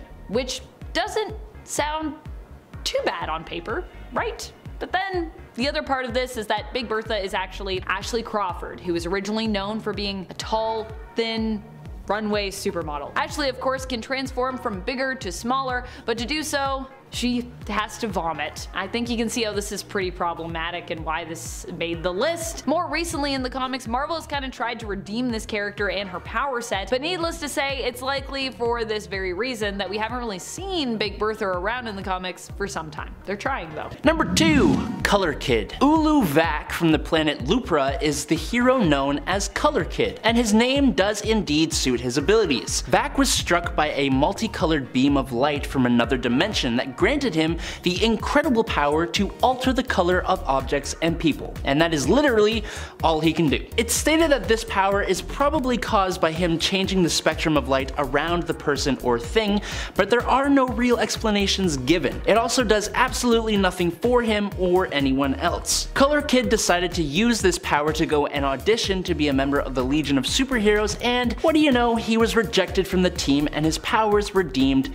useless. While it may be true, it feels a little bit mean, but at least he got in with the Legion of Substitute Heroes, so there's that. Number 1. Oniromancy. While many might not think about how powerful this can be, and might be quick to write dream powers off as you know, dreams aren't real. They're actually super powerful. We can look at a few different characters when it comes to dream manipulation. One of the newer additions to Marvel Comics in the world of mutants is Somnus, who was retconned to be a past lover of Akihiro's, aka Daken. Somnus's power allows him to put people to sleep and from there basically control their dreams. Therefore, although he and Akihiro only had a one night stand, in their dreams they actually lived a whole life together. So that one night to them both was basically a lifetime. Similarly, we can look to DC where we have the Lord of Dreams. Now Daniel, but formerly Morpheus. Although the Dream Lord of the Endless technically doesn't have a formal name and exists as long as there are dreams to be had. These two versions of the characters though are made to be distinct through the Sandman narrative, so that's why I refer to them as being different people with names, because that's how they're referred to in the comics. Dream has shown us over the years just how powerful manipulating one's dreams and nightmares can be. The answer is it can be like crazy powerful. People are always like, what are you gonna do, mess with my dreams? And he's like, yeah, I'm gonna like trap you in a nightmare for your whole life and then you'll die. How does that sound? Doesn't sound very good, does it? Number 10 super mathematics. I'm not entirely sure how super mathematics works or what makes it different than regular math, but the ability to do complex equations on the fly could be useful for someone like Superman and could explain how he's able to adjust his speed to match the velocity of a falling person and catch them without seriously injuring them. This power is best remembered for a panel that shows Superman holding a jar of beans and guessing how many beans are in the jar by weighing them in calculating the number based on weight. Although in this panel he actually gets the math wrong by saying that 20 times 16 times 10 is 32,000. It's actually 3,200. I figured that out using regular math. Super Mathematics made a more recent appearance in Superman Earth 1 Issue 1 when Clark Kent visits a research lab and immediately solves a complex equation that has been baffling the scientists. Number 9. Super Weaving. Appearing in Superman's girlfriend Lois Lane number 15, this power was not actually performed by Superman, but by a distant but identical relative of his who escaped from the bottle city of Kandor. Van Zee wanted to marry Lois Lane, but decided to settle for her doppelganger, an heiress named Sylvia. In order to prove his love for her, Van Zee got her several elaborate gifts, including the wedding dress of Helen of Troy. Seeing that it was damaged, Van Zee unraveled the threads and used his super weaving to weave a new, more modern wedding dress. Now, since Superman is also Kryptonian, we can assume that he also has this ability. This could explain how Superman repairs his costume when it becomes damaged, something that comes up more often than you'd think. Of course, one could argue that super weaving is just regular weaving at super speed. Number 8. Shooting a mini Superman out of your hand. When Superman temporarily lost most of his powers while investigating a crashed alien ship in Superman number 125, he gained the strange ability to shoot a miniature version of himself out of his hand. This proxy had all of Superman's classic powers, allowing him to pick up Superman's slack while he remained depowered. This is obviously silly, but undeniably useful. Instead of facing danger head on, Superman could send his, this miniature version of himself to do the work for him. It's an efficient delegation. Heck, that would be useful for anyone. Imagine being able to send a mini-me out to pick up your dry cleaning. Proxy Superman only lasted for one story before dying from kryptonite exposure, thus returning Superman to his full power. Number 7. Super Ventriloquism. Another power that hasn't been seen post-crisis. Superman used to have the ability to throw his voice and talk without moving his lips. While this is impressive, what makes this power really super is that it comes with the ability to perfectly imitate anyone's voice. This ability was used pretty consistently over the years to trick criminals into acting against their own self-interest, such as in the power's first appearance in Superman number 13, when Clark and Lois were being held hostage by armed gunmen. Superman used his ventriloquism to throw his voice so that Lois and the thugs would look behind them, giving him enough time to change into his super suit, run out the door, fly around the block, come in through the window, punch out the goons, and change back into Clark Kent before Lois could turn back around. Personally, I think that if he has the speed to do all that, he could have eliminated a couple of steps from that plan, but uh, what do I know? Superman used this ability several more times to battle evil and to gaslight Lois Lane into thinking that Krypto the super pup could talk. This power would be useful in a modern context as the ability to mimic any voice could be used to open, say, voice control locks, but being Superman, he could always just rip open any door. Number 6. Super reading. This is an ability that Superman still uses from time to time, but it isn't talked about very often. Superman has the ability to read at super speed and retain all of the information. Now, for the average person, this would be great when cramming for an exam, but the Man of Steel often uses it for more practical purposes. For example, in Superman Red Son, the Russian Superman uses his super reading in order to learn new languages in a matter of moments so that he can negotiate with his enemies in their native languages. In a more extreme example, found in Action Comics Volume 2, number 12, when Lois Lane is gravely injured and Superman uses his super reading to read every medical textbook ever written in order to quickly learn how to perform life-saving surgery on Lois. This power is essentially a way to learn any skill you need in a matter of moments, so it's surprising that Superman isn't shown using it more often. But I suppose there aren't many practical skills you need when you can crush coal into diamond with your bare hands. Number 5. Time travel. In the 1978 Superman film,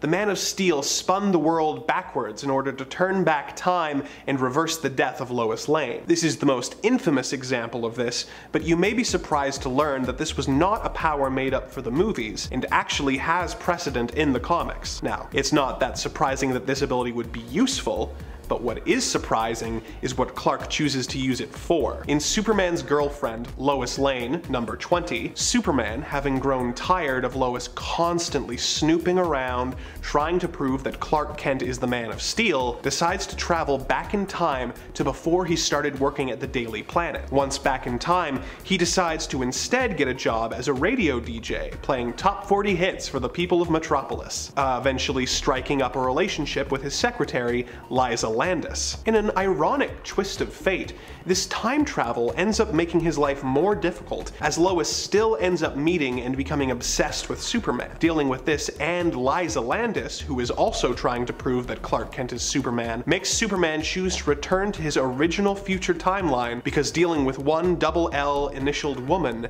is easier than two. Superman is unsure if he made the right decision until Liza comes into the Daily Planet for an interview and Clark discovers that she has gained weight, leading him to think to himself, Great Scott, that was Liza Landis, grown enormously fat through the years. Thank goodness I never married her. Whew. Yeah, real classy, Clark. Number 4.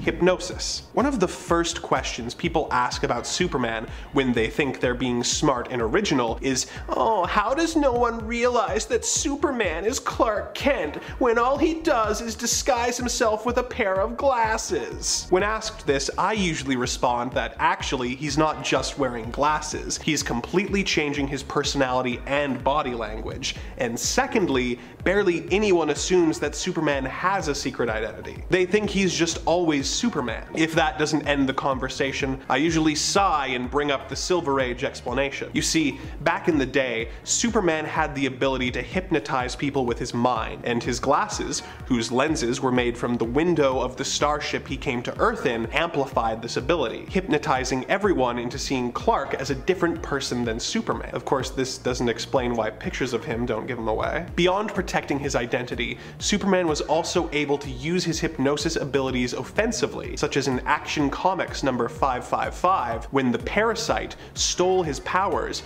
and Superman used his hypnotic lenses to make the villain give them back. Number 3. Tactile Telekinesis. Now, this power isn't what you might think. Superman isn't able to move things with his mind, other than in the movie Superman 4, when he used telekinetic vision to rebuild the Great Wall of China, but I am not talking about that. I'm talking about Superman's ability to telekinetically control any object he touches. Admittedly, that sounds pretty useless and confusing, but it is actually one of Superman's most important powers. Many people assume that when Superman lifts a large object, like say, an airplane, the reason he doesn't punch through the plane is just because comics are silly and not particularly interested in explaining the science of how stuff works. That's where they're wrong, because comics are extremely silly and usually over-explain how stuff works. When Superman grabs a falling plane, he uses his tactile telekinesis to form a force field around the plane so that it is able to retain its structural integrity. Number 2. Shapeshifting. If you still think Clark Kent using glasses to preserve his secret identity is dumb, you're gonna lose it when you find out that he used to have the ability to shapeshift and could have just been doing that instead. Instead of using it to preserve his secret identity, Superman would use this power to impersonate other people, such as in Action Comics number 55, when Superman comes across two men about to wrestle to determine which of them will get to marry a woman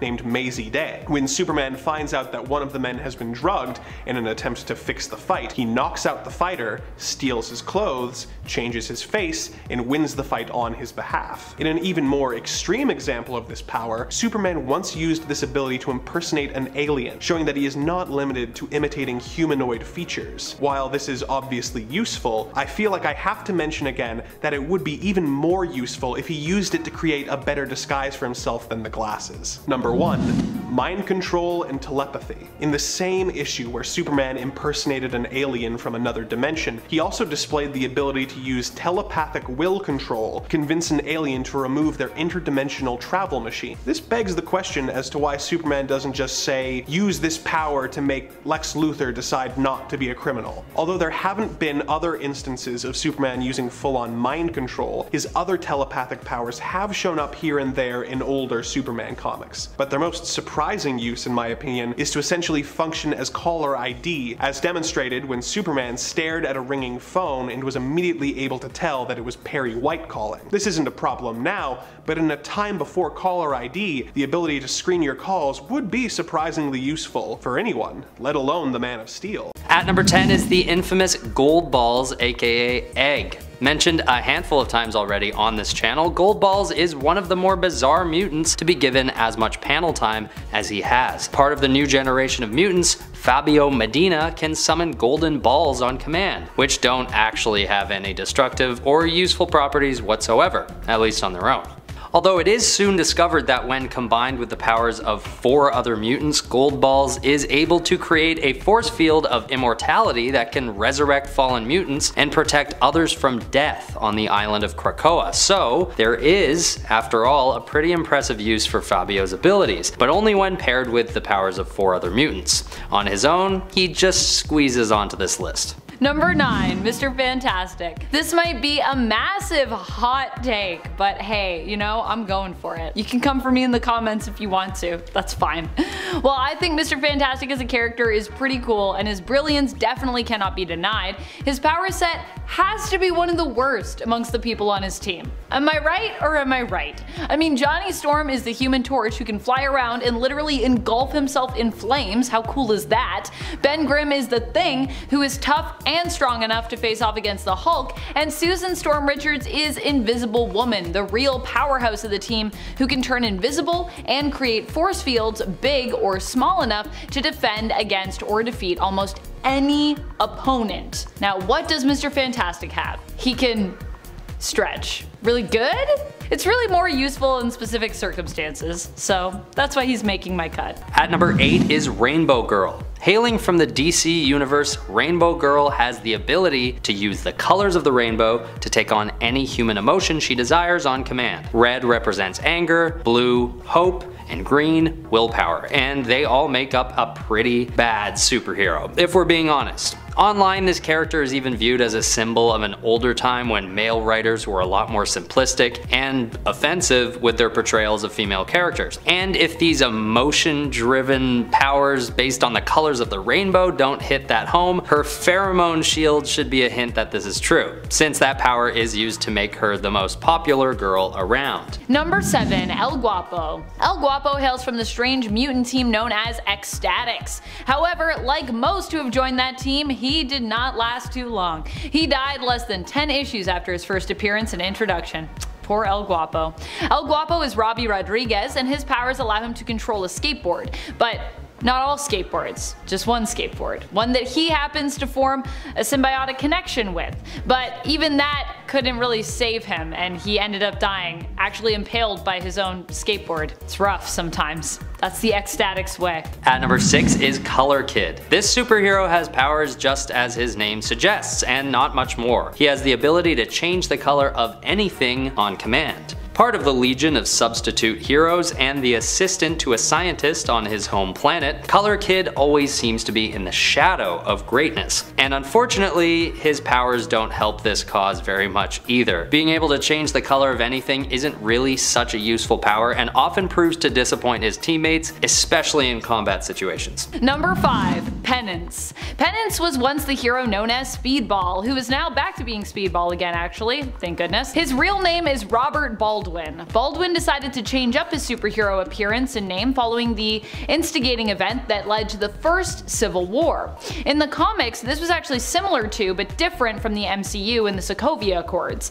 Similar in the sense that many people did die, many of them, in the case of the comics, civilians. Different in the sense that it wasn't a tragedy at a political gathering, but rather happened as a result of the New Warriors pursuing supervillains in the interest of their reality TV show, which, you know, would later become political because one of the team members, Nitro, went off and kind of killed a bunch of civilians and the rest of his teammates in the process, with Speedball being one of the few people to actually survive that incident. As a result, it was said that his powers had changed due to his guilt, and they could only be activated when he experienced physical pain. This caused Robert Baldwin to change his name and his appearance being known as Penance, in honor of all the lives lost that he felt responsible for and wearing an Iron Maiden inspired supersuit covered in spikes as many spikes I believe as there were casualties, so that he could trigger his powers as needed. At number 4 is the one and only, the infamous Bailey Hoskins with the power to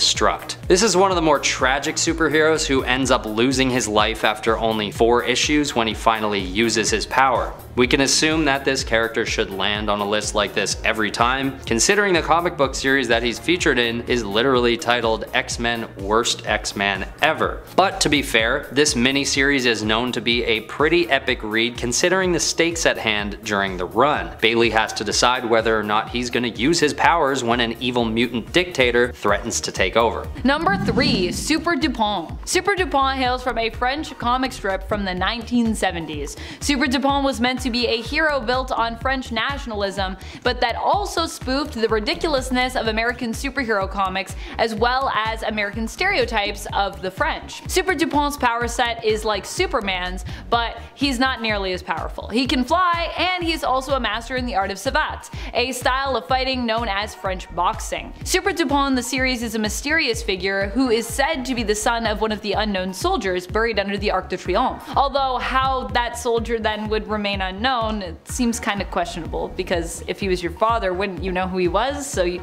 no longer be an unknown soldier. He fights against the Anti-France organization which is exclusively made up of all foreigners, non-French people. These people speak a fictional language in the comics that is a mishmash of non-French languages and it's called Anti-Francais which I think is super ridiculous.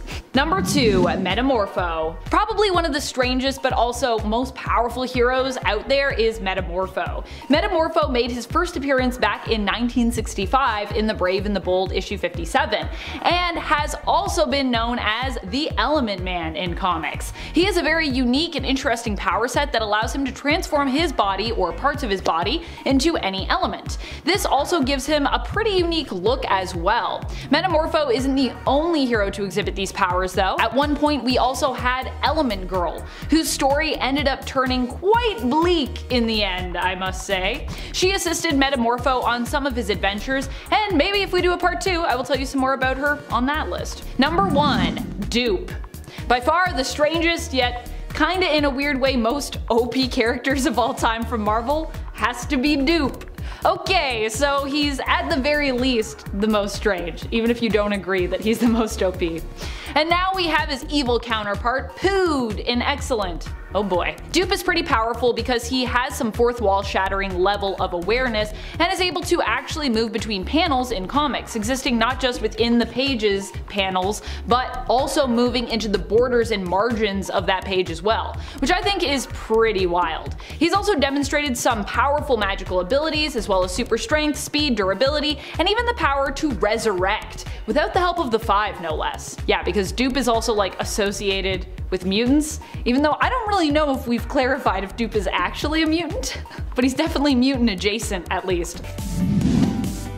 Number 10, Aquaman. Now I'll admit this one kind of started out as a joke, you know, because nobody likes Aquaman. But like, I'm not too far off when I say he's got some useful powers. So Aquaman isn't really all that useless. People only really think that because of the Super Friends cartoon. But if you look pretty much anywhere else, he is pretty badass and is often one of the few things able to defend the world against invasions of demons and such thanks to his trident. This is the reason that he's at the very beginning of this list today. Now that being said though, outside of the water, he is a little bit more vulnerable than he is when he's in the deep, but that doesn't make him any less of a threat for the baddies that he goes up against. Thanks to his Atlantean physiology, he possesses superhuman strength, stamina, and durability, alongside marine telepathy with that allows him to talk and to command sea creatures, and he's also just a ruthless and capable fighter. No matter how much we all make fun of him, he has some pretty useful powers, so check him out in his first appearance in 1959's Adventure Comics number 260.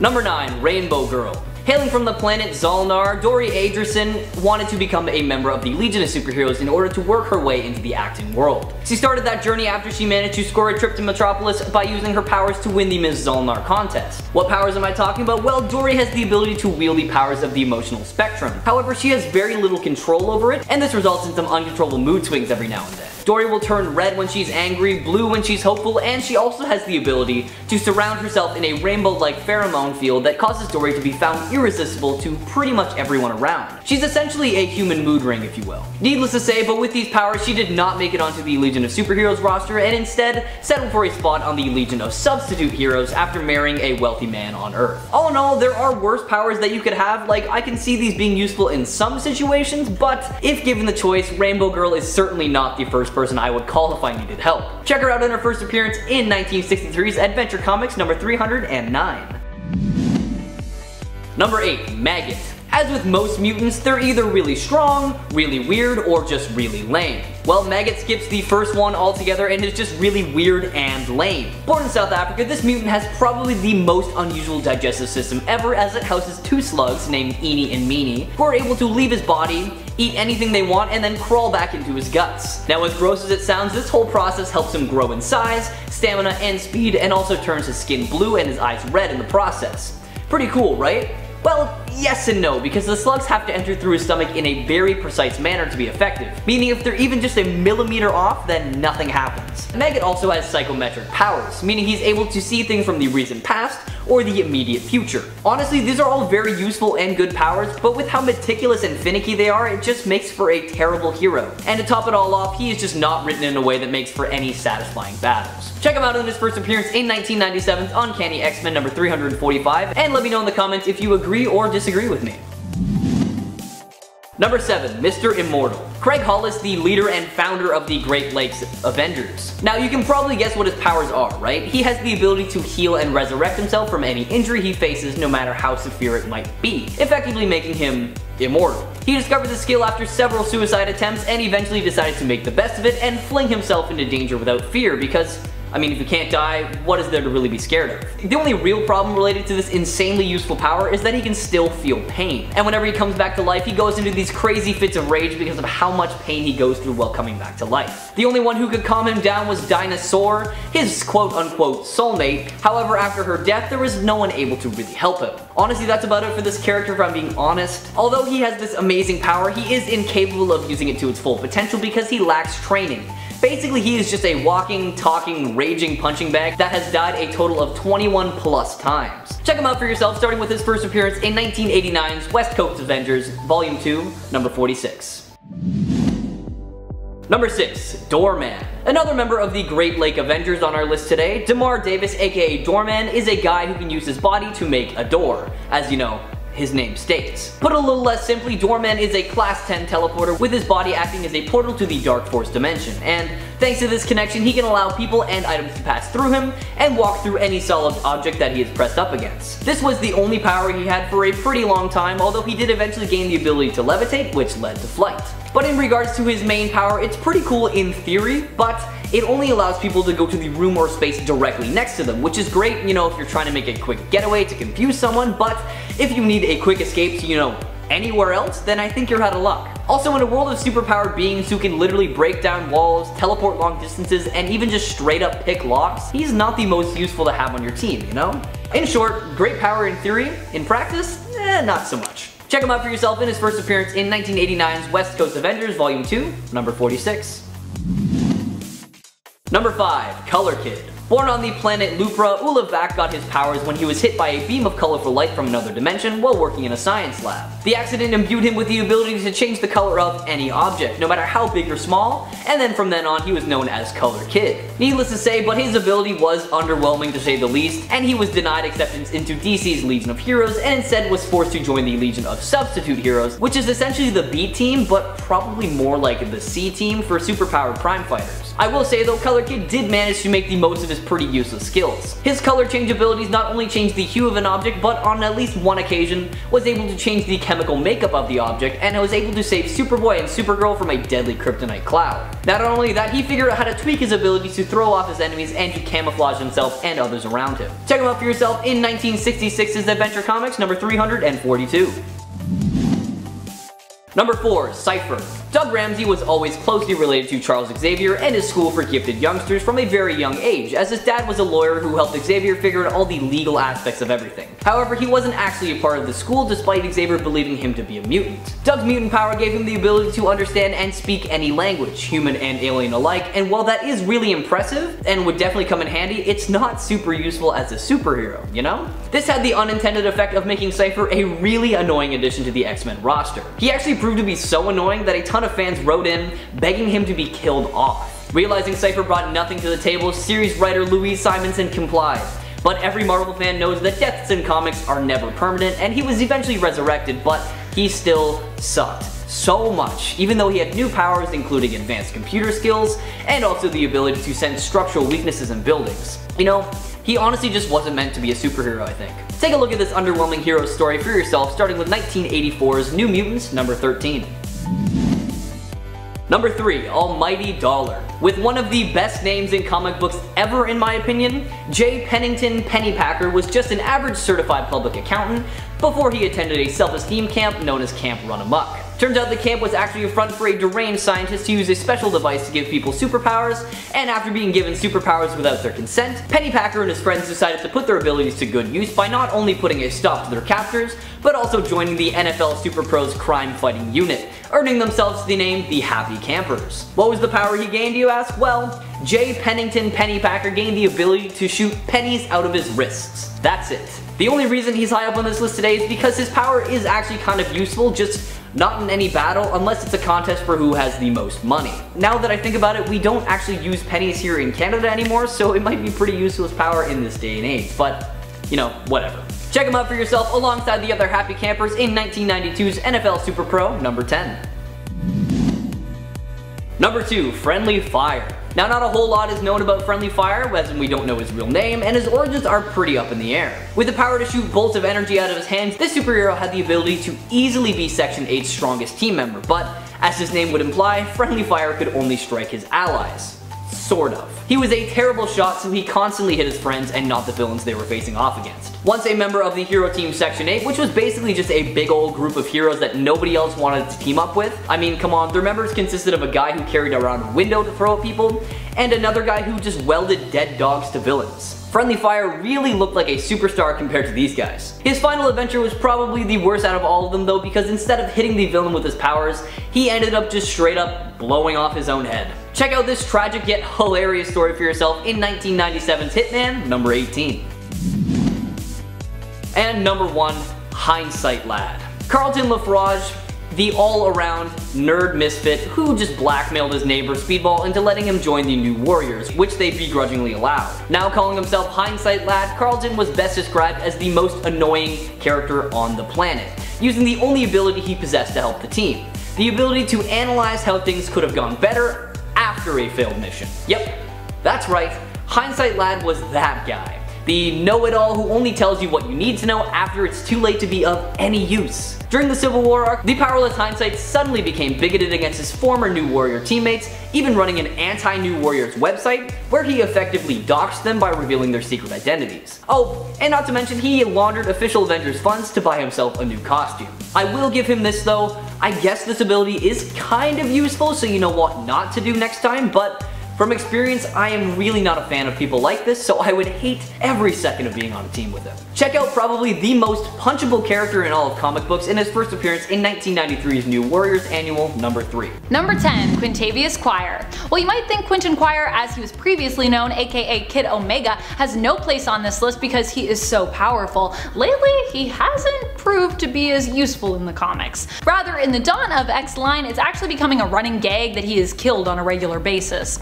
Often coming in with a pretty decent plan of attack that either he messes up or everything just kind of goes sideways, whether he's appearing in comics like X-Force or Wolverine. However, despite the fact that his death toll continues to climb when it comes to his own death and resurrection count, it should be acknowledged that Quintavius is a master telepath and telekinetic, who is known for being an Omega level mutant, hence his alias is Kid Omega. Number 9. NFL Super Pro. Now anyone else remember when Marvel teamed up with the National Football League to make a promotional series about a pun-loving, crime-fighting ex-football player with superpowers? No? Well that is totally okay, I also forgot about it too. Phil Grayfield, aka Super Pro, had his football career cut short after injuring himself while saving a child and decided to then take up a career as a sports reporter. Grayfield then just so happens to interview an all-ball chemist and super fan who just so happens to have invented a practically indestructible football uniform. Then for some reason a group of thieves comes in, takes what they want, ties Grayfield to a chair, and decides to burn up the rest of the scientist's things, including the suit. The combination of the heat and the fumes from the chemist's supplies end up giving Grayfield superpowers which he then uses to pummel every bad guy in sight. What powers did he gain? Well, just invulnerability. That's about it.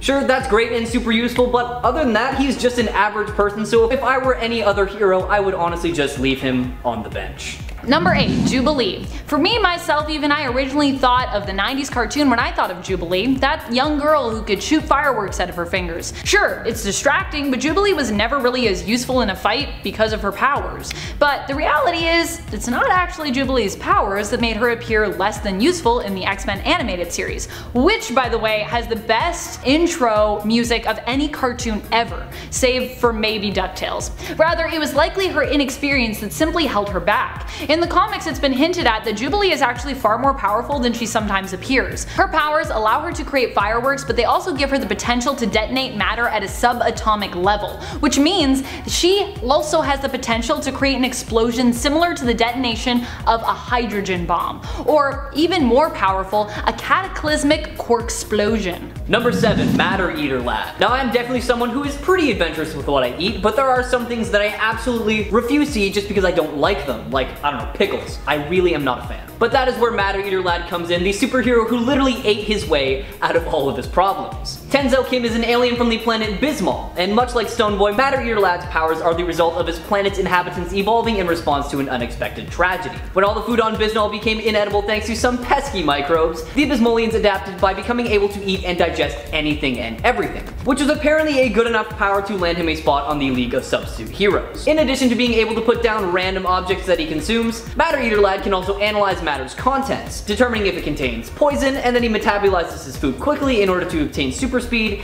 and use his special Bismollian digestive enzymes in order to make tough materials like steel just a lot easier to consume. Honestly, being able to eat anything and everything might make for a great party trick and one that I would love to have in real life, but in the world of comics, it's not necessarily the most useful in the situations that anyone faces. Number 6. Bouncing Boy. Chuck Taine is just what he sounds like, a superhero with the ability to resemble and act like a giant bouncing ball, which his superhero name is an obvious play on.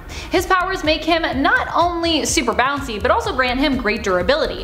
While many write him off as being a fairly useless hero, and he did fail in his tryouts for the Legion of Superheroes twice, Bouncing Boy did manage to prove how useful his ability could be, especially considering he has worked hard to become a skilled combatant who also has the ability to calculate calculate the correct trajectories for his bounces, allowing him to target specific and sometimes multiple assailants or points of interest. Number 5. Stone Boy. A member of the Legion of Substitute Heroes, a group of C-list, moderately superpowered individuals who got together after being rejected from the Legion of Superheroes. Stone Boy is definitely an open book when it comes to his powers because there's not a whole lot below the surface. I say this because he is a member of the alien race from the planet Zwen, whose inhabitants turn to stone in order to hibernate their way through their six month long winters. On Earth, Stone Boy generally uses his ability in some pretty odd and funny ways. Now originally he was unable to move or stay awake while in his stone state, further proving his, you know, uselessness. So his teammates would throw him at enemies, drop him on their heads, or just use him as a distraction. Eventually, thanks to a bit of hypnotherapy, Stoneboy figured out how to remain conscious and even move while using his powers, but nevertheless, his skills are pretty underwhelming in a universe where mobile rock monsters and heroes are pretty much the norm. But I mean, hey, I can't turn to stone, and I'm assuming you can't either, so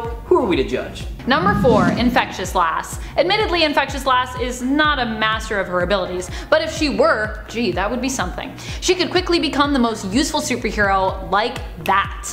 Drura is an alien from the planet Somahtur. Her people have bodies that house tons of microorganisms, which she uses on her enemies, making them sick. Unfortunately, she's not great at controlling her strange power, which sometimes leads to her infecting those that she does not mean to infect. Still, if she had better control, this power itself seems like it would be quite useful. Number 3. Gin Genie. Becca Parker was a member of X-Statix, a group of mutant superheroes who were more preoccupied with becoming rich and famous than doing anything altruistic, like, you know, saving the world. What's her power, you ask? Well, she has the ability to generate seismic vibrations, which is pretty cool, right? Well, no, actually, because in order to use her power, she has to be rip-roaring drunk and the more drunk she gets, the more her power could grow. This is a pretty risque and problematic idea for a superhero as her dependence on alcohol actually landed her on several most offensive lists. Not to mention it also made her a terrible fighter. When she was drunk, Gin Genie occasionally aimed her seismic waves at her fellow X-Statix team members, meaning she was often more of a liability than an asset. Thankfully for everyone, but not so thankfully for her, her career as a superhero was cut short when she died while on a mission. Honestly, I'm kinda glad I never learned about her as a kid because the whole, you know, drinking gives you superpowers thing is not a good message to send out to kids. Number 2. Angel. Angel definitely has to be one of the least useful superheroes and mutants. At the end of the day, his main power is flight, which, sure, when the X-Men first came to be was like pretty crazy, and even dare I say, exhilarating. After all, who doesn't want to fly? Well, flight is by no means a useless power, the problem with Angel these days is it's kinda all he has, that and his hollow bones. Especially considering he is not Archangel currently, so he doesn't have metal wings with poison tipped feathers, nor are his wings sharp enough to be used as blades. So as a mutant in battle, he's in theory pretty useless. But his power of flight is not. I would even argue that Warren Worthington III has a more useful power in his abilities as a businessman, which we'll likely see celebrated even more during the new X-Corp comic we're supposed to get sometime in the future. And number one, Razorback.